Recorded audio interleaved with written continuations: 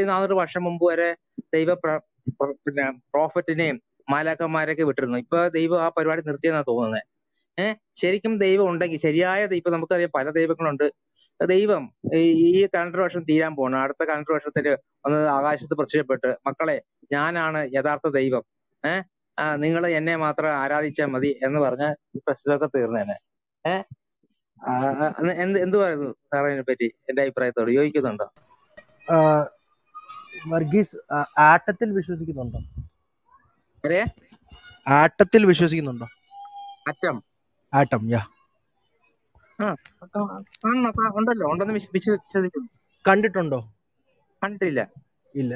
അപ്പം ദൈവത്തിന് മാത്രമേ ഇപ്പം ബ്രദറ് കാണാത്ത കാര്യങ്ങളിൽ വിശ്വസിക്കാൻ തയ്യാറാ പക്ഷെ ദൈവത്തിന്റെ കേസ് മാത്രം എന്തുകൊണ്ടാ കാണാതെ വിശ്വസിക്കാൻ ബുദ്ധിമുട്ടുള്ളത് അതുകൊണ്ട് ഒത്തിരി പ്രോബ്ലം ഉണ്ട് ബ്രദറെ. കാരണം ഈ എന്തുമാത്രം കൂട്ടക്കൊലകൾ സംഘർഷങ്ങൾ എന്തൊക്കെ പ്രശ്നങ്ങൾ ഭൂമിയിൽ? ഇതൊക്കെ ഒഴിവാക്കാൻ പാടില്ലേ? ദൈവം ഇതെല്ലാം കണ്ട് ബ്രോ ദൈവത്തെ മനുഷ്യൻ വിശ്വസിക്കുന്നതാണ് പ്രശ്നങ്ങൾക്ക് കാരണമെങ്കിൽ ദൈവവിശ്വാസം ഇല്ലാത്ത സോവിയറ്റ് യൂണിയനിൽ ചൈനയിൽ അങ്ങനെയുള്ള സ്ഥലങ്ങളിൽ ഒരു പ്രോബ്ലം ഉണ്ടാകാൻ പാടില്ലല്ലോ. അപ്പൊ അതിന്റെ കാരണം എന്തായിരിക്കും? എന്ത്? എല്ലായിടത്തും ഈ മനുഷ്യൻ ജീവിക്കുന്നിടത്തും പ്രോബ്ലം ഉണ്ടാവും. ആ താങ്കൾ പറഞ്ഞത് ദൈവവിശ്വാസം ഉള്ളത് കൊണ്ട് ഒത്തിരി പ്രോബ്ലം ഉണ്ട്. ഞാൻ ദൈവവിശ്വാസം ഇല്ലാത്ത ഒത്തിരി ജനതയെ കാണിച്ചു തരാം. ഈ സ്ഥലങ്ങളിൽ ഒഴിവാക്കായിരുന്നു. ദൈവം ദൈവം ദൈവം പ്രത്യക്ഷപ്പെട്ട് പറയാ അതിന് "ദേ ചോദ്യമല്ല ഞാനാണ് ദൈവം. ദൈവം അല്ല വഴി വഴി മാറ്റിവിടാതെ. നിങ്ങളോട് നിങ്ങൾ പറഞ്ഞൊരു കാര്യത്തിലുള്ള മറുപടിയാണ് ഞാൻ ഞാൻ ചോദിക്കുന്നത്. അതായത് താങ്കൾ പറഞ്ഞു ദൈവവിശ്വാസം ഉള്ളതുകൊണ്ട് ഒത്തിരി കുഴപ്പമുണ്ട്. മനുഷ്യൻ തമ്മിൽ തെല്ലുന്നു പ്രശ്നങ്ങളുണ്ട് എന്നൊക്കെ പറയുന്നു. ദൈവവിശ്വാസം ഇല്ലാതായാൽ ഈ പ്രശ്നങ്ങൾ ഇല്ലാതാകുമോ? കാരണം ദൈവവിശ്വാസം ഇല്ലാത്ത ഒരു വലിയ ജനത കിടക്കുന്നു. നിയമപരമായി തന്നെ ദൈവവിശ്വാസം നിഷേധിച്ച രാഷ്ട്രങ്ങൾ കിടക്കുന്നു. ആ രാഷ്ട്രങ്ങളിൽ നിങ്ങൾ പറയുന്നതിനേക്കാൾ പ്രശ്നങ്ങൾ ഒരു പ്രശ്നം ഞാൻ അങ്ങയുടെ മുമ്പിലേക്ക് വെക്കാം. സ്റ്റാലിൻ ഒരിക്കൽ മടങ്ങി വരികയാണ്. സ്റ്റാലിൻ വരുന്ന വഴിക്ക് ധാരാളം ആളുകൾ കൈനീട്ടി ഭക്ഷണത്തിന് യാചകര്. അപ്പൊ സ്റ്റാലിൻ ഇത് കണ്ടൊരു മനസ്സലിവ് തോന്നി. ഈ മനസ്സലിവ് തോന്നിയിട്ട് അവർക്കെല്ലാം ഉരുളക്കിഴങ്ങ് സൂപ്പും അപ്പവും കൊടുക്കാൻ ബ്രെഡും കൊടുക്കാൻ വേണ്ടി ഓർഡർ ഇട്ടു. എന്നിട്ട് കുറേ ദൂരം അദ്ദേഹം വണ്ടി ഓടിച്ചു പോയിട്ട് പെട്ടെന്ന് എന്തോ ഒരു ബോധ്യം വന്ന പോലെ പറഞ്ഞു. ആ ഉത്തരവ് റദ്ദാക്കണം. അവർക്ക് ഫുഡ് കൊടുക്കണ്ട. അവർക്കൊന്നും കൊടുക്കണ്ട. അവരെ ഷൂട്ട് ചെയ്തേക്കാൻ പറഞ്ഞു. കൊന്നു കളയാൻ പറഞ്ഞു. അങ്ങനെ അത്രയും പേരെ കൊന്നു കളഞ്ഞിട്ട് അദ്ദേഹം പറഞ്ഞ ന്യായം ഇവർ നാഷണൽ വേസ്റ്റ് ആണ്. അതായത് ഭക്ഷിക്ക മാത്രമേ ഉള്ളൂ. നമുക്ക് നികുതി തരാൻ ശേഷിയില്ല. രാഷ്ട്രത്തിന്റെ സമ്പത്ത് അവർ തിന്നു തീർക്കേയുള്ളൂ ഞാനും ഒരിക്കൽ ഇതുപോലെയാകും അപ്പോൾ നിങ്ങൾ എന്നെ ഷൂട്ട് ചെയ്യാൻ മടിക്കണ്ട. ആവശ്യമില്ലാത്ത ഒരാളായിട്ട് ഞാൻ മാറും. അപ്പൊ മനുഷ്യന്റെ പ്രാണനും ഇതിനൊന്നും വില കൽപ്പിക്കാത്ത ഒരു വാല്യൂ ഒരു മൂല്യമില്ലാത്ത ഒരു സംവിധാനം അദ്ദേഹം മുമ്പോട്ട് കൊണ്ടുവന്നു. പിന്നീട് ഇങ്ങോട്ട് എത്ര കോടി ആളുകളെ കൊന്നൊടുക്കി ദൈവം ഉള്ളവനും കൊന്നൊടുക്കിയിട്ടുണ്ട് ഇല്ലാത്തിട്ടുണ്ട് അപ്പൊ കൊന്ന് ദൈവം ഉണ്ടെന്ന് വിശ്വസിക്കുന്നവരും ഇല്ലാത്തവരും യുദ്ധമൊക്കെ നടന്നിട്ടുണ്ട്. അപ്പൊ താങ്കൾ പറയുന്നത് നിരീശ്വരത്വമാണ് ലോകത്ത് പ്രശ്നങ്ങൾ തീരാനുള്ള ഒരു പോംവഴി എന്ന് പറഞ്ഞു വെക്കുന്നു. അതിൽ എന്ത് ലോജിക്കാണുള്ളത്? അങ്ങനെയല്ല ഞാൻ ഞാൻ പറഞ്ഞല്ലേ യഥാർത്ഥ ദൈവം എന്നൊന്ന് ഉണ്ടെങ്കിൽ അദ്ദേഹത്തിന് അങ്ങ് പ്രത്യക്ഷപ്പെട്ട പോരെന്നാ ചോദിക്കുന്നത് ഒരു കാര്യത്തിന് അങ്ങോട്ട് വരാം അങ്ങോട്ട് വരും. ആ ചോദ്യത്തിന് ഞങ്ങൾ അഡ്രസ് ചെയ്തിരിക്കും. ചോദ്യം ഇതാണ് താങ്കൾ പറഞ്ഞു ദൈവവിശ്വാസം ഉള്ളതുകൊണ്ട് ഒട്ടേറെ കുഴപ്പം നിൽക്കുന്നു. അപ്പൊ ഞാൻ ദൈവവിശ്വാസം ഇല്ലാത്തിടത്തെ കുഴപ്പം കാണിച്ചു തന്നു. അപ്പൊ അവർ വിശ്വാസി ആയാ മതിയോ? വിശ്വാസം ഉള്ളവൻ വിശ്വാസം ത്യജിക്കുകയും മറ്റുള്ളവർ വിശ്വാസം സ്വീകരിക്കുകയും ചെയ്യും. അതായത് കമ്മ്യൂണിസ്റ്റ് രാജ്യങ്ങളിലുള്ള നിരീശ്വരന്മാരായ ആളുകൾ വിശ്വസിച്ചാൽ അവിടെ പ്രശ്നം തീർന്നു. ഇവിടെയുള്ള വിശ്വാസികളായ ആളുകൾ നിരീശ്വരന്മാരായ തീർന്നു. എന്താണ് താങ്കൾ പറഞ്ഞു വരുന്നത്? എന്നിട്ട് ഞാൻ താങ്കൾ പറഞ്ഞ ഈ പ്രത്യക്ഷതയ്ക്കുള്ള മറുപടി പറയും. ഇതൊന്ന് പ്രതികരിച്ചാട്ടെ.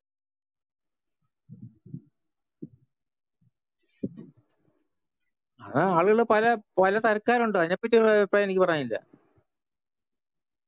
ഓക്കെ ആഷേർ എന്തോ പ്രതികരിക്കാൻ വരുന്നുണ്ട്. പ്രിൻസ് സാറാണോ? പ്രിൻസ് ബ്രദറോ? ആഷേറോ ആരാ എന്തോ പറയാ? ഞാൻ പറഞ്ഞോട്ടെ പ്രിൻസ് ചേട്ടാ അദ്ദേഹം ഇവിടെ ഇല്ലെന്ന് തോന്നുന്നു ഓക്കെ വർഗീസ് ബ്രദർ ചോദിച്ച രണ്ട് ചോദ്യമുണ്ട് ആക്ച്വലി ഒന്ന് വർഗീസ് ബ്രദർ ചോദിച്ചത് എന്തുകൊണ്ടാണ് ദൈവം പ്രതികരിക്കാത്തത്? അത് basically can be restated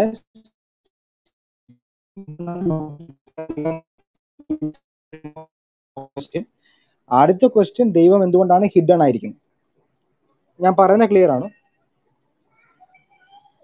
അല്ല ക്ലിയർ അല്ല കേൾക്കുന്നില്ല. ഓക്കെ ഓക്കെ ഇപ്പം ക്ലിയർ ആണോ?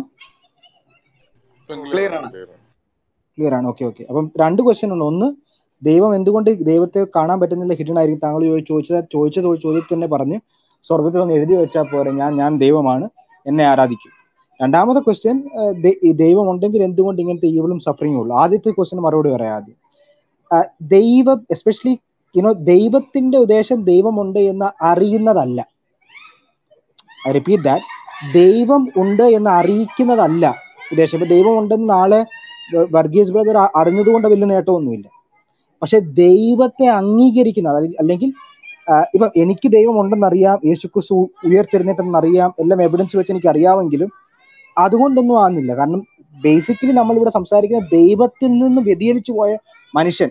നമ്മൾ പാപം എന്ന് പറയുമ്പോൾ തന്നെ അത് യുനോ ഒറിജിനലി ഒരു ഒരു ആരോ അല്ലെ ഒരു ഒരു ആരോ ഷൂട്ട് ചെയ്യുമ്പോഴത്തേക്കും അത് അതിന്റെ അതിന്റെ ആ ഡയറക്ഷനിൽ നിന്ന് മാറിപ്പോകുന്ന മാറിപ്പോകുന്നതിന് റൂട്ട് വേർഡാണ് ഹത്താ തമാത്തിയ പാപം എന്ന് നമ്മൾ പറയും.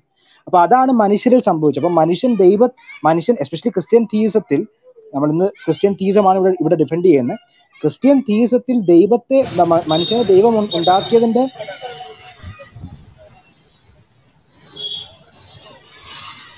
മ്യൂട്ട് വി- ചെയ്യണേ വി- മറ്റുള്ളവർ. ആശയം സംസാരിക്കുമ്പോൾ മറ്റുള്ളവർ മ്യൂട്ട് കിട്ടി Vijesh brother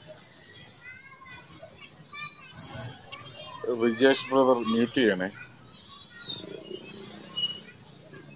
തൽക്കാലത്തേക്ക് ഞാൻ അദ്ദേഹത്തെ ഓഡിയൻസിലേക്ക് മാറ്റിയിട്ടുണ്ട് I think here was I അപ്പം ദൈവം മനുഷ്യനെ സൃഷ്ടിച്ചതിന് ഒരു പ്രത്യേക ഉദ്ദേശമുണ്ട്.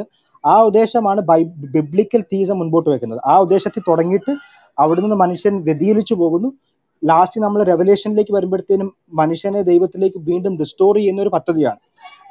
Now the you know tent of God is with man ഇപ്പോൾ യുനോ ദൈവം ദൈവത്തിന്റെ uh, ദൈവത്തിന്റെ ടാബർനാക്കൽ മനുഷ്യനോട് കൂടെ. അങ്ങനെ ആണ് ഈ ഈ ക്രിസ്ത്യൻ തീസം കംപ്ലീറ്റ് ആകുന്നത് സോ ബേസിക്കലി നമ്മൾ മനസ്സിലാക്കേണ്ട ദൈവമുണ്ട് എന്ന് അറിയുന്നത് കൊണ്ട് പ്രത്യേകിച്ച് ഒരു ഗുണവുമില്ല. ദ പോയിന്റ് ഈസ് ദൈവത്തെ പിന്തുടരുവാൻ ദൈവത്തെ സീക്ക് ചെയ്യാനുള്ള ഹാർട്ട് അതിനുള്ള എവിഡൻസ് ലോകത്തിലുണ്ട് പ്രപഞ്ചത്തിലുണ്ട്. അല്ലെങ്കിൽ യുനോ രോമാലയനം ഒന്നാം അദ്ദേഹത്തെ വായിക്കുന്ന അവന്റെ ഇൻവിസിബിൾ ആട്രിബ്യൂട്ട്സ് ഈ പ്രപഞ്ചത്തിന്റെ ഓർഡർ ഈ പ്രപഞ്ചത്തിന്റെ സ്ട്രക്ചർ അത് മാത്രമല്ല നാച്ചുറലി ഇവിടെ ഞാൻ സയന്റിഫിക് എവിഡൻസ് വെച്ച് തന്നെ പറഞ്ഞാൽ രസകരമായ ഒരു സംഭവം കൂടെ വേണമെങ്കിൽ പറയാം. യുനോ നമ്മുടെ നാട്ടിലൊക്കെ രവിചന്ദ്രൻ സാറൊക്കെ ചോദിക്കുന്ന ഒരു ചോദ്യമാണ്. യുനോ അദ്ദേഹം ഒരു, അദ്ദേഹത്തിന്റെ ഒരു സ്ലൈഡ് ഒക്കെ ഇട്ട് അദ്ദേഹം കാണിക്കുന്ന ഒരു സംഭവമുണ്ട്. Hyper activity hyper activity agency detection device അത് സൈക്കോളജിയിലെ ഒരു ആണ്. അതായത് മനുഷ്യൻ എല്ലാ കാര്യത്തിന്റെ പിന്നിൽ ഒരു ഏജൻസി തപ്പാൻ നോക്കും. ഇപ്പം ഒരു കമ്പ്യൂട്ടർ കണ്ടാൽ അതിന്റെ പിന്നിൽ ഒരു എഞ്ചിനീയർ ഉണ്ട്. ഒരു ഒരു ഒരു നമ്മളൊരു ഫുഡ് കണ്ടാൽ അതിന്റെ പിന്നിൽ ഒരു കുക്കുണ്ട് ഈ കാര്യം നമ്മൾ എല്ലാത്തിന്റെയും പിന്നിൽ ഒരു ഏജൻസി തപ്പുന്ന ഒരു മൈൻഡ് മനുഷ്യനുണ്ട്. അതുകൊണ്ട് തന്നെ ആ ഏജൻസി സീക്കിംഗ് വെച്ച് തന്നെ സൈക്കോളജിസ്റ്റുകൾ പറയുന്നത് ഈ ഹൈപ്പർ ഏജൻസി ഡിറ്റക്ഷൻ ഡിവൈസ് എന്ന് പറയുന്നത് നാച്ചുറലി ദൈവം മനുഷ്യന് മനുഷ്യൻ ദൈവ ദൈവത്തിൽ വിശ്വസിക്കും. നാച്ചുറലി അതായത് ഒരു പറഞ്ഞു കൊടുത്തില്ലെങ്കിൽ ഒരു മതമില്ലെങ്കിലും മനുഷ്യൻ നാച്ചുറലി ദൈവമുണ്ടെന്ന് വിശ്വസിക്കും.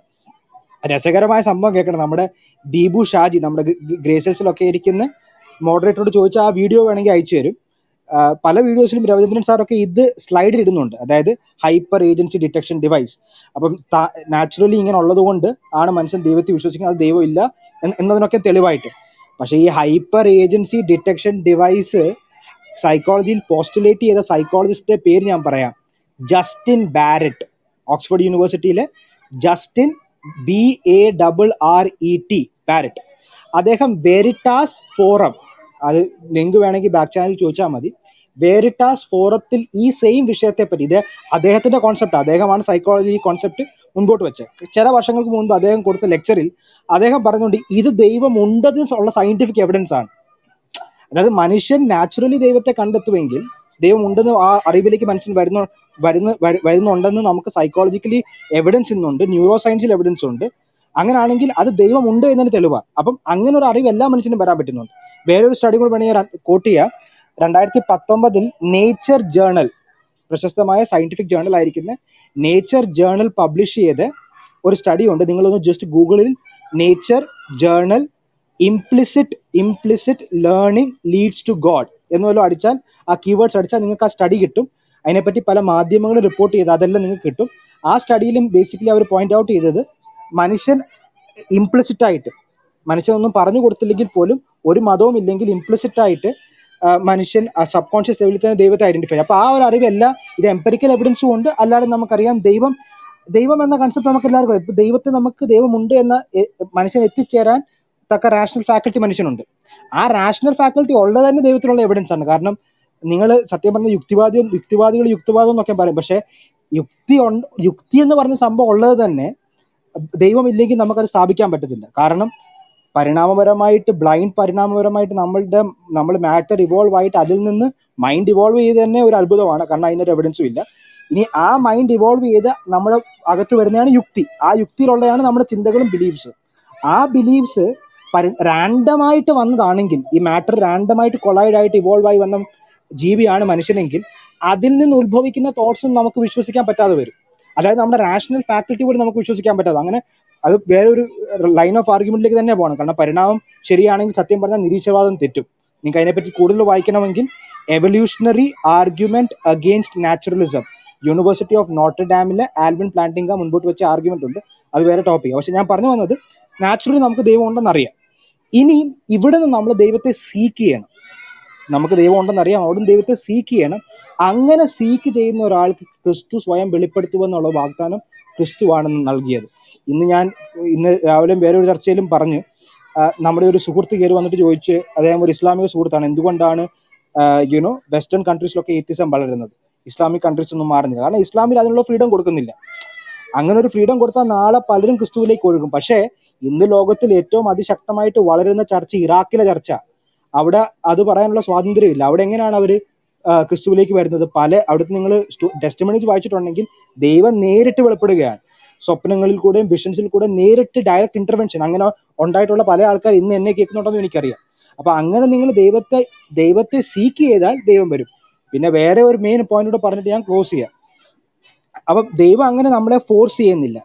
ഓൺലി ഇന്നഫ് എവിഡൻസ് ദൈവം ഉണ്ട് എന്ന് സ്ഥാപിക്കാൻ വേണ്ടിയുള്ള ഒരു ഇതല്ല. അപ്പം സ്വ- സ്വർഗത്തിൽ എഴുതി വെച്ച് എല്ലാവരും എന്നെ മാത്രം നമസ്കരിക്കണം അങ്ങനല്ല. മനുഷ്യന് ദൈവം ഫ്രീ ചോയ്സ് കൊടുക്കുന്നുണ്ട്. എല്ലാ മനുഷ്യനും കൊടുക്കുന്നുണ്ട്. അപ്പൊ ആ ഫ്രീ ചോയ്സ് നിങ്ങൾ ദൈവത്തെ സീക്ക് ചെയ്താൽ ദൈവത്തെ നിങ്ങൾ കണ്ടെത്തും. അങ്ങനെ എല്ലാ അങ്ങനെ ആൾക്കാർ കണ്ടെത്തിയിട്ടുണ്ട് ഇന്നും കണ്ട് കണ്ടെത്തു കണ്ടെത്തുന്നുണ്ട്. അപ്പൊ തീർച്ചയായിട്ടും ആ ഒരു കാര്യം. പിന്നെ വേറൊരു കാര്യം എന്ന് പറഞ്ഞാൽ ക്രിസ്ത്യാനിറ്റി പറയുന്ന ദൈവം മനുഷ്യനായി സത്യം പറഞ്ഞ അവതരിച്ചവനാണ്. അവൻ യുനോ നമ്മുടെ ഇടയിൽ യുനോ ജഡ ജഡവേഷം എടുത്ത് നമ്മുടെ ഇടയിൽ പാർത്തു. ആ ഒരു ഹിസ്റ്ററിയിൽ ഇന്റർസെക്ട് ചെയ്ത ദൈവം ക്രിസ്തു മാത്രമാണ്. നിങ്ങൾ ഏതൊരു മതം എടുത്താലും അവിടെ ഇങ്ങനൊരു ദൈവം ഫുള്ളി ഗോഡായവൻ പൂർണ മനുഷ്യനായി അവതരിച്ച് ഒരു ഒരു ഒരു വസ്തുതയില്ല. അപ്പം ഹിസ്റ്ററിയിൽ ആക്ച്വലി ഇന്റർസെക്ട് ചെയ്തതും നിങ്ങൾക്ക് വേണമെങ്കിൽ എവിഡൻസ് വെച്ച് സ്ഥാപിക്കാൻ പറ്റുന്ന കാര്യമാണ് യേശുക്രിസ്തു ഉയർത്തിരുന്നേറ്റം നമ്മൾ നമ്മുടെ ഗ്രൂപ്പുകളെല്ലാം ആ വിഷയം ചർച്ച ചെയ്യുമ്പോൾ നമ്മൾ സ്ഥാപിക്കാറുണ്ട്. ഇന്നും യൂണിവേഴ്സിറ്റി തലങ്ങളിലും അക്കാഡമിക് യൂണിവേഴ്സിറ്റി തലങ്ങളിലും ഡിബേറ്റ് ചെയ്യുന്ന ഏക മിറക്കിൾ ക്ലെയിം ഈവൻ ഇത് പബ്ലിഷ് ചെയ്യുന്നത് സാധാരണ ഒരു ക്രിസ്ത്യൻ പ്രസ് അല്ല. ഇപ്പൊ Richard Swinburne Bayesian probability use ചെയ്ത് യേശുക്രിസ്തു ഉയർത്തെഴുന്നേറ്റെന്ന് തെളിയിക്കുന്ന റിച്ചർഡ് സ്വിൻബേൺ.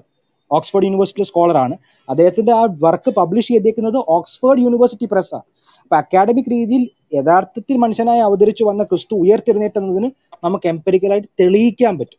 തെളിയിക്കാൻ പറ്റും എന്ന് പറഞ്ഞാൽ ഹിസ്റ്റോറിക്കൽ മെത്തഡോളജി യൂസ് ചെയ്യും അതൊന്നും. പിന്നെ രണ്ടാമത്തെ ക്വസ്റ്റ്യൻ ഞാൻ ക്വിക്കായിട്ട് ആൻസർ ചെയ്യാം. താങ്കൾ പറഞ്ഞ് എന്തുകൊണ്ടാണ് ലോകത്തിൽ ഇങ്ങനെ ഈവിൾ ഉള്ളത്? ഇത് ഞാൻ ചെറുതായിട്ടൊന്ന് ഓൾറെഡി ടച്ച് ചെയ്ത്. മനുഷ്യന് ദൈവം ഫ്രീ കൊടുത്തു. സത്യം പറഞ്ഞാൽ ആയിരത്തി തൊള്ളായിരത്തി നാൽപ്പതുകളിലും അമ്പതുകളിലും ഒക്കെ നിരീശ്വരവാദികൾ ഏറ്റവും കൂടുതൽ ദൈവത്തിനെതിരെ യൂസ് ചെയ്ത ആർഗ്യുമെന്റ് ആണ് problem of evil you know അതായത് ആർഗ്യുമെന്റ് ഇത്രയേ ഉള്ളൂ. യുനോ ദൈവം സർവശക്തനാണ്. ദൈവം സർവ സർവ നന്മ നന്മയുടെ ഉട- ഉടമയാണ്. ഒമ്നി ബെനോവലന്റ് ആണ്. ഒമ്നി പോട്ടന്റ് ആണ്.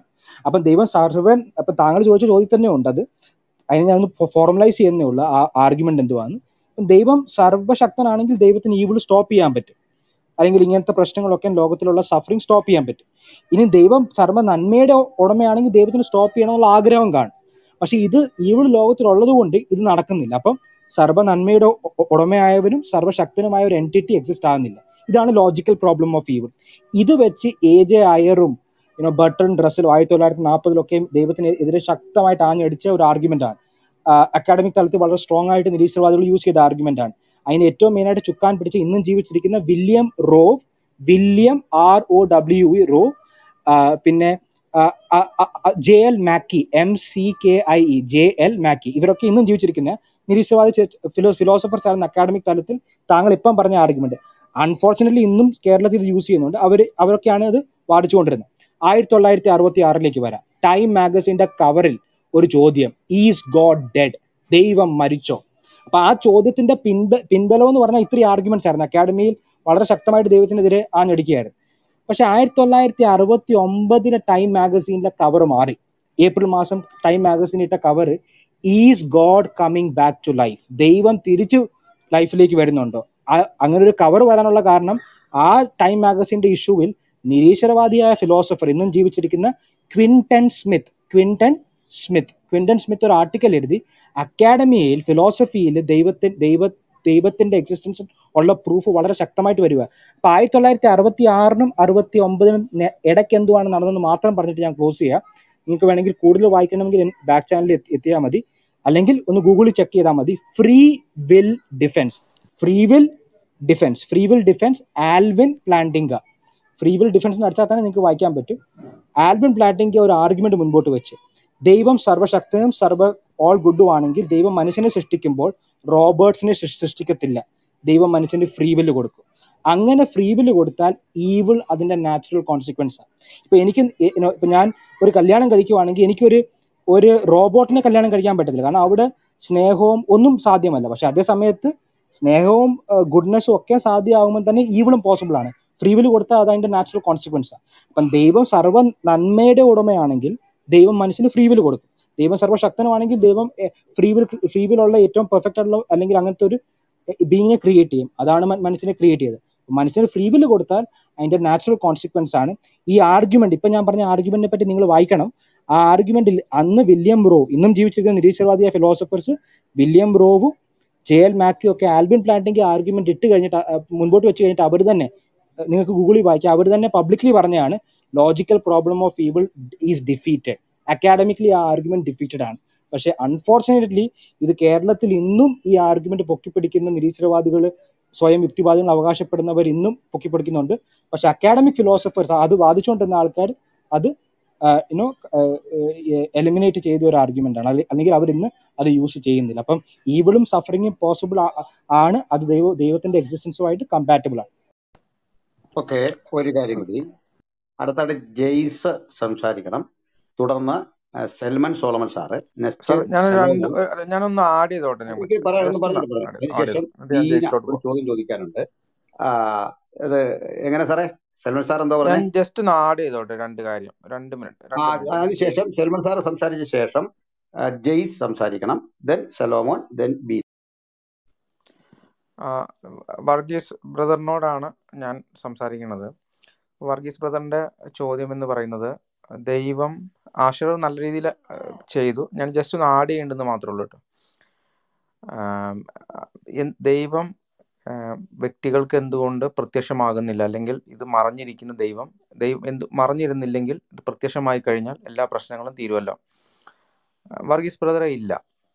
കാരണം ആദാമിന് ദൈവം നേരിട്ട് പ്രത്യക്ഷമായതാളാണ്. എന്നിട്ട് ആകെ കൊടുത്തത് ഒരേ ഒരു നിയമവുമാണ്. ആദാമിന് നേരിട്ട് പ്രത്യക്ഷപ്പെട്ടു എല്ലാ സുഖ സൗകര്യങ്ങളും ഒരുക്കി കൊടുത്തു. എന്ന് പറയുന്ന പോലെ ഒരു വലിയ സൗഭാഗ്യങ്ങളുടെ നടുവിൽ നിർത്തി ഒരേ ഒരു നിയമവും കൊടുത്തിട്ട് ആ നിയമത്തെ പാലിക്കാൻ ആദാമിന് കഴിഞ്ഞില്ല. അപ്പോൾ ഒന്ന് വർഗീസ് ബ്രദർ പറയുന്ന പോയിന്റ് എന്ന് പറയുന്നത് അങ്ങനെ ചെയ്താലും മനുഷ്യൻ എന്താണ് ഈ പ്രശ്നങ്ങൾ മുഴുവൻ തീരുന്നു എന്നുള്ളതല്ല അവിടെയും കോംപ്ലിക്കേറ്റഡ് ആവുകയാണ് ചെയ്തത്. ഇസ്രായേലിനും ദൈവം നേരിട്ട് പ്രത്യക്ഷമായ സന്ദർഭങ്ങളുണ്ട്. എന്നിട്ടും ഇസ്രായേൽ വീണ്ടും പാപത്തിലേക്ക് പോവുകയാണ് ചെയ്തത്. അതിന്റെ റീസൺ എന്ന് പറയുന്നത് ഫ്രീ വില്ലാണ് അപ്പോൾ നമ്മൾ അതിനകത്ത് ഫ്രീ വിൽ എന്ന് പറയുന്ന മനുഷ്യന്റെ അകത്ത് ആ ഫ്രീ വിൽ എന്ന് പറയുന്നത് മനുഷ്യൻ ലോജിക്ക് ഉപയോഗിക്കണം. എന്നാൽ തിരിച്ച് തിരിച്ച് വിശ്വാസത്താൽ എത്ര പേര് ഈ പറയുന്ന ഹാനോക്ക് ഏദൻ തോട്ടത്തിലല്ലാതിരുന്നിട്ടും അവൻ പാപത്തിന്റെ നടുവിൽ ജീവിച്ചിട്ടും അവൻ വിശ്വാസത്താൽ ദൈവത്തോട് കൂടെ നടന്ന് ദൈവത്തെ പ്രസാദിപ്പിച്ചു എന്നാണ് പറയുന്നത്. അപ്പോൾ ഇത് ഇത് ബ്രദർ പറയുന്ന പോയിന്റിന് വാലിഡിറ്റി ഇല്ല എന്നുള്ളതാണ്. ദൈവം നേരിട്ട് പ്രത്യക്ഷമാക്കിയ സന്ദർഭത്തിലും മനുഷ്യന് കഴിഞ്ഞിട്ടില്ല. അല്ലാത്ത സന്ദർഭത്തിൽ മനുഷ്യന് കഴിഞ്ഞ സന്ദർഭങ്ങളുമുണ്ട്. ചിലപ്പോൾ കഴിയാത്ത സന്ദർഭങ്ങളും ഉണ്ടാവുമായിരിക്കാം. അപ്പം ആ പറയുന്ന പോയിന്റിൽ വലിയ വാലിഡിറ്റി ഇല്ല എന്നുള്ളതാണ് യഥാർത്ഥം ഈ ജെയ്സ് ബ്രദർ കണ്ടിന്യൂ ചെയ്തോട്ടെ. ഞാൻ നമ്മൾ നേരത്തെ സംസാരിച്ച ഒരു വിഷയം ഈ ഓഡിയൻസിന് വേണ്ടി ഒന്ന് ക്ലാരിഫൈ ചെയ്യാനായിട്ടാണ് വർഗീസ് ബ്രദർ നമ്മൾ വർഗീസ് മ്യൂട്ട് ചെയ്യാം. നമ്മൾ നേരത്തെ ഫ്രീ തിങ്കർ എന്ന് പറഞ്ഞ ബ്രദർ പറഞ്ഞ ഒരു ക്വസ്റ്റ്യന്റെ അകത്ത് നമ്മൾ ക്രിസ്ത്യൻസ് ഒരിക്കലും ന്യൂട്ടൺസ് ലോ ഓഫ് തെർമോഡൈനാമിക്സ് ഇങ്ങനെയാണ് പറയുന്നത്. Energy is neither created not destroyed ഒരു മിനിറ്റ് വർഗീസ് ബ്രദർ ഒന്ന് മ്യൂട്ട് ചെയ്യാമോ? പ്ലീസ് ഒന്ന് മ്യൂട്ട് ചെയ്യാമോ Varghese brother? So neither created not destroyed എന്ന് പറയുമ്പോൾ തന്നെ നമുക്ക് മനസ്സിലാവും സ്റ്റോക്കിംഗ് അബൌട്ട് ഒരു ക്ലോസ് സിസ്റ്റത്തെ പറ്റിയാണ് സംസാരിക്കുന്നത്. ഞങ്ങൾ വിശ്വാസികൾ അല്ലെങ്കിൽ ക്രിസ്തുവിൽ വിശ്വസിക്കുന്ന അല്ലെങ്കിൽ ജൂതോ ക്രിസ്ത്യൻ വേൾഡ് വ്യൂയിലുള്ളവർ ഈ ക്ലോസ് സിസ്റ്റത്തിനെ പറ്റിയല്ല സംസാരിക്കുന്നത്.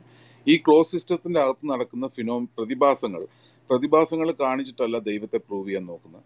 ഞങ്ങളുടെ ആധാരം ദൈവത്തെ പ്രൂവ് ചെയ്യാനുള്ള ആധാരം ഉൽപ്പത്തി ഒന്ന് ഒന്ന് Genesis one one in the beginning God created heaven and ദൈവം ഈ ഹെവനും എർത്തും അല്ലെ ഈ ക്ലോസ് സിസ്റ്റം ഈ മെറ്റീരിയൽ യൂണിവേഴ്സ് ഈ ബ്ലോക്ക് യൂണിവേഴ്സ് ക്രിയേറ്റ് ചെയ്ത സമയത്ത് ക്രിയേറ്റ് ചെയ്തതിന്റെ അകത്തുള്ളതാണ് എനർജി അത് ജോൺ വണ്ണിൽ ക്ലിയർ ആയിട്ട് പറയുന്നു in the beginning was word by him through him for him everything that was created was created അതിന്റെ അടുത്ത വാക്യം പറയുന്നു in him was life and that life was the light of men ഈ ലൈഫും ലൈറ്റും എന്നുള്ളതൊക്കെ മെറ്റഫറിക്കൽ അർത്ഥം ഉണ്ടെങ്കിലും that's also words related to energy അപ്പം ദൈവം ക്രിയേറ്റ് ചെയ്ത എനർജി ഈ ക്ലോസ് സിസ്റ്റത്തിൽ ആ എനർജി ട്രാൻസ്ഫർ ട്രാൻസ്ഫർ ആകുന്നേ ഉള്ളൂ. അത് നമ്മൾ എഗ്രി ചെയ്യുന്നു. അതല്ല ആ ഒരു മിസ്അണ്ടർസ്റ്റാൻഡിങ് വെച്ചാണ് പലപ്പോഴും ഫ്രീ തിങ്കേഴ്സിനെ പോലുള്ളവർ വന്ന് സംസാരിക്കുന്നത്. വളരെ ക്ലിയർ ആണ്. ഞാൻ ഞങ്ങളുടെ അണ്ടർസ്റ്റാൻഡിങ് വളരെ ക്ലിയർ ആണ് ഇതിനകത്ത്. ദൈവം സൃഷ്ടിച്ച യൂണിവേഴ്സിൽ ദൈവമാണ് ആദ്യം എനർജി ക്രിയേറ്റ് ചെയ്തത്. ദൈവം ക്രിയേറ്റ് ചെയ്ത എനർജി അത് നമ്മൾ റെവലേഷനിൽ വരുമ്പോൾ കാണുന്നു. വരാനുള്ള ലോകത്തിൽ there is no sun there is no light there there is no sun there because God is the light എന്ന്. അവിടെ ദൈവമാണ് എനർജി ആയിട്ട് കാണിക്കുന്നത് വരാനുള്ള യൂണിവേഴ്സിൽ ഇപ്പം സംസാരിച്ച കാര്യത്തിൽ റോമൻസ് വൺ ട്വന്റിയിൽ ഇങ്ങനെ പറയുന്നു for since the creation of the world God's invisible qualities invisible nature of God when we say ദൈവം ഇൻവിസിബിൾ നേച്ചർ എന്ന് പറയുമ്പം he's invisible not because he choose to be invisible because he does no he's not from the material world ഈ ലോകത്ത് material world quantifiable ആണ് കാണാൻ പറ്റുന്നതാണ്.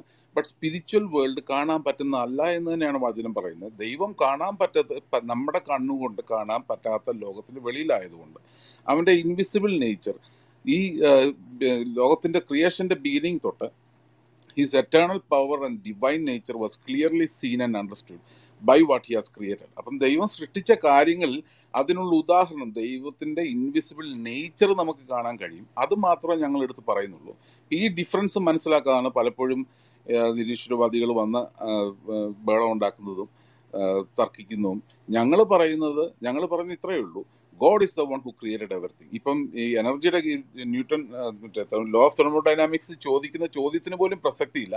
കാരണം big bang കഴിഞ്ഞിട്ടേ ലോ ഓഫ് തെർമോഡൈനാമിക്സ് എക്സിസ്റ്റ് ആകത്തുള്ളൂ അപ്പം ബിഗ് ബാങ്ങിന് മുമ്പുള്ള കാര്യമാണ് ഞങ്ങൾ ഈ സംസാരിക്കുന്നത്. ഈ ഒരു ഇത് ഇത് അത് ക്ലിയർ ആക്കാൻ ശ്രമിക്കുമ്പം അലിഗേ നിങ്ങൾ പറയുന്ന ഒന്നും ബാക്കിയുള്ളവർക്ക് മനസ്സിലാവുന്നുണ്ട് നിങ്ങൾ പറയുന്ന എല്ലാം ഫാലസീസ് ആണ് എന്നൊക്കെ പറയുമ്പം ഒരു തെളിവും തരാതെ പറയുമ്പം അത് കേൾവിക്കാർക്ക് മനസ്സിലാകണം. അവർക്ക് ഉത്തരവില്ലാത്തതുകൊണ്ടാണ്. ഞങ്ങളുടെ ഞങ്ങൾ ഏത് ആംഗിളിൽ നിന്നാണ് ഇത് കാണുന്നത്? ഫെയ്ത്ത് ഒരിക്കലും നേരെ അനിൽ അനിൽ പാസ്റ്റർ പറഞ്ഞ പോലെ ഫെയ്ത്ത് പ്രൂവ് ചെയ്യാൻ ഒരു പക്ഷേ പറ്റും. ദൈവമില്ലെന്ന് ആർക്കും പ്രൂവ് ചെയ്യാൻ കഴിയത്തില്ല. ദൈവമുണ്ടെന്ന് പ്രൂഫ് കൊടുക്കാൻ ലോകത്തിന് ചുറ്റും നടക്കുന്ന കാര്യങ്ങൾ ലോകത്തിലുള്ള ക്രിയേഷൻ നോക്കിയാൽ ഞങ്ങൾക്ക് കഴിയും. അത്രയും ഞങ്ങൾ പറയുന്നുള്ളൂ. Sorry thanks Jaise brother thanks ഞാൻ അതിനകത്ത് രണ്ട് വാക്യം ഒന്ന് ആഡ് ചെയ്യാണ്. രണ്ട് ജസ്റ്റ് വാക്യങ്ങൾ മാത്രം. എബ്രാ ലേഖനം പതിനൊന്നാമത്തെ അധ്യായത്തിനകത്ത് പറയാണ് ഈ കാണുന്ന ലോകത്തിന് ദൃശ്യമായതല്ല കാരണമെന്ന് വരുമാറ്. ലോകം ദൈവത്തിന്റെ വചനത്താൽ നിർമ്മിക്കപ്പെട്ടു എന്ന് നാം വിശ്വാസത്തിൽ അറിയുന്നു.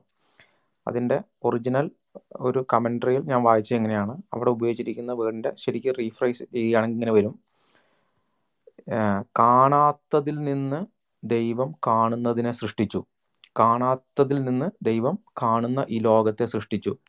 കൃത്യമായിട്ട് പറയുകയാണെങ്കിൽ കാണാത്ത ആറ്റത്തെ അല്ലെങ്കിൽ ആറ്റത്തിനും താഴത്തുണ്ട്. അതിനെ ഡിവൈഡ് ചെയ്യാം. തൽക്കാലം ആറ്റത്ത് നിർത്തുകയാണ്. കാണാത്തതിൽ നിന്ന് ഇത്തരം കണികകളിൽ നിന്ന് തന്മാത്രകളിൽ നിന്ന് കാണുന്ന ഈ ലോകത്തെ സൃഷ്ടിച്ചു എന്നാണ് അതിന്റെ ഒറിജിനൽ ടെക്സ്റ്റിലോട്ട് വരുന്നത്. ഇനി ഞാൻ അതിന്റെ വേറൊരു ഒരു ഒരു ഒരു വാക്യം ഒരു വാക്യം എടുക്കുന്നു. പ്രോവർബ് എട്ടിന്റെ രണ്ടിൽ പറയാണ് അവൻ ഭൂമിയെയും വയലുകളെയും ഭൂതലത്തിന്റെ പൊടിയുടെ തുകയെയും ഉണ്ടാക്കിയിട്ടില്ലാത്ത സമയത്ത്.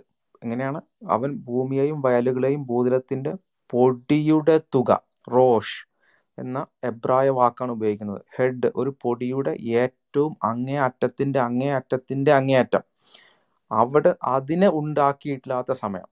അപ്പോൾ അവിടെ നിന്നാണ് സൃഷ്ടി തുടങ്ങിയതെന്നാണ് ബൈബിളിന്റെ പ്രഖ്യാപനം. ഇപ്പം വളരെ മനോഹരമായിട്ടാണ് സയന്റിഫിക് പ്രൂവ് ചെയ്യുന്ന ഇത്രയും ഭംഗിയായിട്ട് വിവരിച്ച ഒരു പുസ്തകമാണ് വിശുദ്ധ ബൈബിൾ എന്ന് പറയുന്നത്. ഇനി അടുത്തത് ബീനയാണെന്നാണ് ഞാൻ മനസ്സിലാക്കുന്നത്.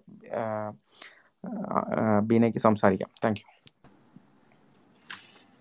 എല്ലാവർക്കും നന്ദി. ചോദ്യം ചോദിക്കാൻ അവസരം തന്നതിന്. ഞാൻ എനിക്ക് ബിബ്ലിക്കലായിട്ടുള്ള ക്വസ്റ്റ്യൻസ് ആണ് അതിപ്പം ചോദിക്കാമല്ലോ. ദൈവത്തിന്റെ എക്സിസ്റ്റൻസിനെ പറ്റിയുള്ളതല്ല. കുഴപ്പമില്ലല്ലോ. ബൈബിൾ റിലേറ്റഡ് ആയിട്ടുള്ള ക്വസ്റ്റ്യൻസ് ആണ്. ഓക്കെ അല്ലേ? ചോദിച്ചോളൂ. അറിയാം അറിയാവുന്നതാണെങ്കിൽ ആരെങ്കിലും ആൻസർ ചെയ്യും. ആ, ഓക്കെ. അല്ല ഇതിൽ പൊതുവേ ഇപ്പം എന്നോട് പലരും ചോദിക്കുമ്പോൾ ആ ഒരു കറക്റ്റ് ആ ഒരു വേയിൽ എങ്ങനെ നമ്മൾ ഇതിന് ആൻസർ ചെയ്യണമെന്നുള്ള അറിയാനായിട്ടാണ്. അതായത് പുതിയ നിയമത്തിൽ യേശു താൻ ദൈവമെന്ന് താൻ തന്നെ പറഞ്ഞിട്ടില്ലല്ലോ. പറഞ്ഞിട്ടില്ല. ദൈവപുത്രനാണ് യേശു. അതുപോലെ യേശുവിന് ദൈവം അത് കൊടുത്ത അധികാരമാണ്. അല്ലാതെ യേശു ദൈവമല്ല എന്നുള്ള ഒരു വാദത്തിന് അതെങ്ങനെ നമുക്ക് കറക്റ്റായിട്ട് ഒരു ആൻസർ കൊടുക്കാൻ പറ്റും? അതുപോലെ രണ്ടാമത്തെ ഓരോന്നായിട്ട് ചോദിക്കാം. ഓക്കെ യേശുക്രിസ്തു ദൈവമാണെന്ന് സ്വയമായിട്ട് പറഞ്ഞിട്ടുണ്ട്. വെളിപ്പാട് പുസ്തകം ഇരുപത്തി ഒന്നാമത്തെ അധ്യായം ഇരുപത്തിരണ്ടാമത്തെ അധ്യായം അതിന്റെ ആറാമത്തെ വാക്യം. പിന്നെ അവൻ എന്നോട് ഈ വചനം വിശ്വാസയോഗ്യവും സത്യവുമാകുന്നു. പ്രവാചകന്മാരുടെ ആത്മാക്കളുടെ ദൈവമായ കർത്താവ് വേഗത്തിൽ സംഭവിക്കേണ്ടത് തന്റെ ദാസന്മാർക്ക് കാണിച്ചു കൊടുപ്പാൻ തന്റെ ദൂതനെ അയച്ചു ഇതാ ഞാൻ വേഗത്തിൽ വരുന്നു. ഇതാ ഞാൻ വേഗത്തിൽ വരുന്നു എന്ന് പറഞ്ഞവൻ ആരാണോ? അവൻ പ്രവാചകന്മാരുടെ ആത്മാക്കളുടെ ദൈവമായ കർത്താവാണെന്ന് സ്വയം പറഞ്ഞ വാക്യമാണത്. പിന്നെ എന്തുകൊണ്ട് സുവിശേഷത്തിൽ നേരിട്ട് പറഞ്ഞിട്ടില്ല എന്ന് ചോദിച്ചു കഴിഞ്ഞാൽ യേശുക്രിസ്തു മരിക്കാൻ വേണ്ടി വന്നതാണ് തന്റെ ദൈവത്വം തെളിയിക്കാൻ വേണ്ടി വന്നതല്ല.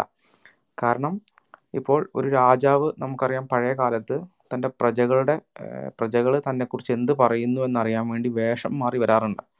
താൻ തന്റെ രാജ്യത്തിന്റെ എല്ലാ പദവികളും വെച്ച് കിരീടവും ചെങ്കോലും എല്ലാ രാജവസ്ത്രവും ധരിച്ച് പ്രജകളുടെ അടുക്കിലേക്ക് വരികയാണെങ്കിൽ പ്രജകൾ തന്നെക്കുറിച്ച് നല്ലതേ പറയൂ. അത് തനിക്കും അറിയാം.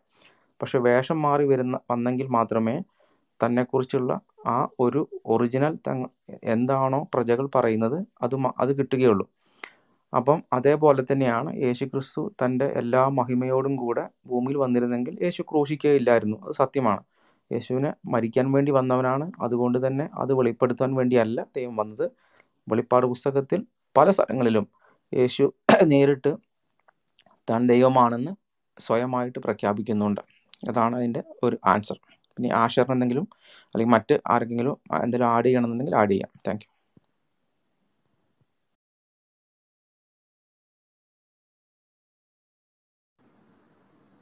ഞങ്ങൾക്ക് ക്ലിയർ ആഡ് ചെയ്യുന്ന ആഡ് ചെയ്യുന്നുണ്ടോ യെസ് ബിനി സിസ്റ്റർ അത് പല തരത്തിലാണ് നമ്മൾ കാണുന്നത് ഇപ്പോൾ ഒരു സിമ്പിൾ ക്വസ്റ്റ്യൻ അല്ല ഒത്തിരി ടൈം എടുത്ത് ആൻസർ ചെയ്യേണ്ട ഒരു ക്വസ്റ്റ്യൻ ആണ്. ഇത്രയും പറയാം. നമ്മൾ നമ്മൾ ഉൽപ്പത്തി കാണുന്നു God in the beginning God created heaven and earth അതേ കാര്യം നമ്മൾ ദൈവം അതേ ക്വസ്റ്റ്യൻ യോബിനോട് ചോദി ജോബിന്റെ പുസ്തകത്തിൽ ചോദിക്കുന്ന കാണുന്നു. Where where you in the beginning when I created the heavens and earth എന്ന ക്വസ്റ്റ്യൻ കാണുന്നു. ഇതേ കാര്യം ഹെബ്രൂസിൽ ഹെബ്രൂസിൽ അല്ല ആക്ച്വലി എസയാവിലാണ്. ഹെബ്രൂസിൽ അത് റീക്കോട്ട് ചെയ്തേക്കുന്നു. ദൈവം യേശുവിനോട് പറയുന്നു you O Lord in the beginning laid the foundation of the earth അപ്പം ഇത് ഇത് എങ്ങനെ നമ്മൾ ഇത് മനസ്സിലാക്കുന്നു എന്നുള്ളതിന്റെ അകത്താണ് നമ്മുടെ ക്രിസ്ത്യൻ ചർച്ചസിന്റെ അകത്തുള്ള ഡിഫറൻസ് പക്ഷേ യേശു ദൈവമാണെന്ന് വളരെ ക്ലിയർ ആയിട്ട് പുതിയ നിമിത്തി പല കാര്യങ്ങളും കൂടെ നമുക്ക് തെളിയിക്കാൻ ഒക്കും. ദൈവം തന്നെ എബ്രു ഹെബ്രൂസ് വണ്ണിൽ എബ്രൈ ലേഖനം ഒന്നാം അധ്യായത്തിൽ ദൈവം തന്നെ യേശുവിനെ വിളിക്കുന്നത് യു ലോഡ് മൈ ഗോഡ് എന്നാണ് വിളിക്കുന്നത്. അത് ദൈവം മാത്രമല്ല. ഇപ്പം നമ്മൾ ഇതേ കാര്യം സാക്ഷീകരിക്കപ്പെടുത്തിയിട്ടുള്ള ഏഞ്ചൽസ് സാക്ഷീകരിച്ചിട്ടുണ്ട് ദൈവം സാക്ഷീകരിച്ചിട്ടുണ്ട് വിശ്വാസികൾ സാക്ഷീകരിച്ചിട്ടുണ്ട് ജ്യൂസ് സാക്ഷീകരിച്ചിട്ടുണ്ട് പുതിയ നിയമത്തിലെ വിശ്വാസികൾ. ഇങ്ങനെ ഓരോന്നായിട്ട് നമുക്ക് കാണാം പുതിയ നിയമം പഠിക്കുമ്പോൾ. അത് വലിയ ആൻസർ ആണ് ജസ്റ്റ് അത്രയും മാത്രം. ഒരു ഒരു കാര്യം ഒന്ന് ആഡ് ചെയ്തോട്ടെ. ബീന സിസ്റ്റർ എന്തെങ്കിലും പറയുന്നുണ്ടോ? ഇല്ല ഇല്ല. പറഞ്ഞോ അക്ഷർ പറഞ്ഞോ. Okay okay. സാധാരണ ഒന്ന് ഈ question if I understand correctly Muslims എന്നല്ലേ വരുന്നത്? മുസ്ലിംസ് മാത്രമല്ല നമ്മൾ പല ഗ്രൂപ്പുകളിലിട്ട് ആൾക്കാരെ ചർച്ച ചെയ്യുമ്പോൾ ക്രിസ്ത്യൻസ് ആയിട്ടുള്ളവരുടെ ഇടയിൽ നിന്ന് തന്നെ വന്ന് ഇങ്ങനെ ചോദിക്കുന്നു. അപ്പം നമ്മൾ എന്തെടുത്ത് പറഞ്ഞാലും അവരത് കൺവിൻസിംഗ് ആയിട്ട് അവർ വിശ്വസിക്കത്തില്ല. പിന്നെ നമ്മളെ ക്വസ്റ്റ്യൻ ഇങ്ങനെ ചെയ്തുകൊണ്ടിരിക്കും. മനസ്സിലായി? അപ്പോൾ അത് കറക്റ്റായിട്ട് വേറെ ഏത് മെത്തേഡിൽ നമുക്ക് ആൻസർ ചെയ്യാൻ പറ്റും? മനസ്സിലായി മനസ്സിലായി. അത് നേരത്തെ എനിക്ക് തോന്നുന്നു ജെയ്സ് ബ്രദർ ഇപ്പം പറഞ്ഞ പോലെ ഫസ്റ്റ് സെഞ്ചുറിയിൽ ഫസ്റ്റ് ഓഫ് ഓൾ യഹൂദന്മാർക്ക് മെഷിഹ എന്നുള്ള എക്സ്പെക്ടേഷന് ദൈവം മനുഷ്യനായി വരുമെന്നുള്ള ഒരു എക്സ്പെക്ടേഷൻ അല്ലായിരുന്നു. അത് സത്യം പറഞ്ഞ ഒരു അവരെ തന്നെ അവരുടെ തന്നെ വേൾഡിനെ റോക്ക് ചെയ്ത ഒരു ഐഡിയ ആയിരുന്നു. ഇപ്പൊ ഫസ്റ്റ് സെഞ്ചുറിയിലെ ഏറ്റവും വലിയ ഡിബേറ്റ്സ് തന്നെ പിൽക്കാലത്ത് സെക്കൻഡ് സെഞ്ചുറിയിലൊക്കെ വരുമ്പോഴത്തേന് ഈ ഒരു ക്വസ്റ്റ്യൻ ആണ്. കാരണം ഇത് അവർ യഹൂദന്മാരുടെ എക്സ് അന്നത്തെ യഹൂദന്മാരുടെ മെസ്സിഹ എന്നുള്ള കൺസെപ്റ്റ് ഒരു പൊളിറ്റിക്കൽ ഹ്യൂമൻ ഫിഗർ ആയിരുന്നു. പക്ഷെ അതിന്റെ അർത്ഥം പഴയ നിയമത്തിൽ ഉള്ള പ്രവചനങ്ങൾ അങ്ങനെയാണെന്നല്ല. കാരണം പഴയ നിയമത്തിലുള്ള പ്രവചനം നമുക്കറിയാം. You know Isaiah chapter നയനിലൊക്കെ for to us a child is born to us a son son is given you know he will be called mighty God right he will be called mighty God everlasting father prince of peace അപ്പൊ അവനെ മഹാദൈവം എന്ന് അല്ലെങ്കിൽ you know I do know the exact Malayalam translation പക്ഷേ കർത്താവിന്റെ വരവിനെ പറ്റി you know കർത്താവിന്റെ ജനനത്തെ പറ്റി പറയുമ്പോഴത്തേന് കർത്താവിന്റെ കന്യക കർത്താവിന്റെ കന്യക ജനനത്തെ പറ്റി പറയുമ്പോഴത്തേന് അതിനെ ഒരു അൾട്ടിമേറ്റ് ഫുൾഫിൽമെന്റ് യഷ്യ പറയുമ്പോൾ അവിടെ യഷ്യ കർത്താവിന് കൊടുക്കുന്ന ടൈറ്റിൽ മൈറ്റി ഗോഡ് എന്നാണ്. അപ്പം ഓൾഡ് ടെസ്റ്റ്മെന്റ് പ്രോഫസീസിൽ അത് ഉണ്ടെന്ന് പറഞ്ഞാലും യഹൂദന്റെ ആ ഒരു എക്സ്പെക്ടേഷൻ അതില്ലായിരുന്നു. പക്ഷേ കർത്താവിന്റെ പ്രവൃത്തി കണ്ട യഹൂദന് വളരെ ക്ലിയർ ആയിരുന്നു ഇവൻ ദൈവമാണ്. അല്ലെങ്കിൽ ഇവൻ ആ ഒരു ക്ലെയിം ആ വെക്കുന്നത്. വളരെ ക്ലിയർ ആയിരുന്നു. കർത്താവ് പാപിനിയായ സ്ത്രീയോ സ്ത്രീയോട് പറയുക നിന്റെ പാപം ക്ഷമിച്ചിരിക്കുന്നു പറയുമ്പോഴത്തേന് അവർ പറയുന്നത് ബ്ലാസ്ഫമി ഐ മീൻ എങ്ങനെയാണ് യുനോ ദൈവത്തിന് മാത്രമേ പാപത്തെ പാപത്തെ ക്ഷമിക്കാൻ പറ്റുന്നുള്ളൂ. അപ്പൊ ആ ഒരു അതോറിറ്റി കർത്താവ് എടുക്കുകയായിരുന്നു.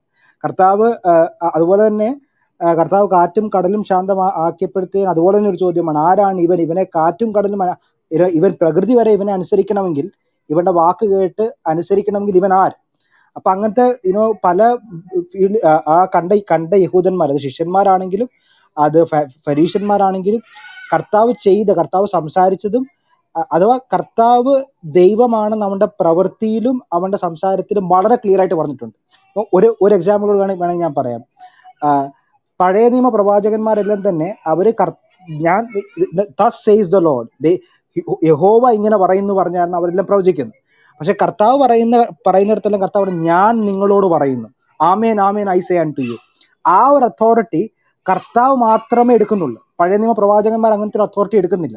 ഇനി ന്യായപ്രമാണത്തിന്റെ കാര്യം പറയുമ്പം പോലും കർത്താവ് പറയുന്നത് ഇങ്ങനെ പറഞ്ഞത് നിങ്ങൾ കേട്ടിട്ടുണ്ട്. Do not murder do not commit adultery എന്നാൽ ഞാൻ നിങ്ങളോട് പറയുന്നു.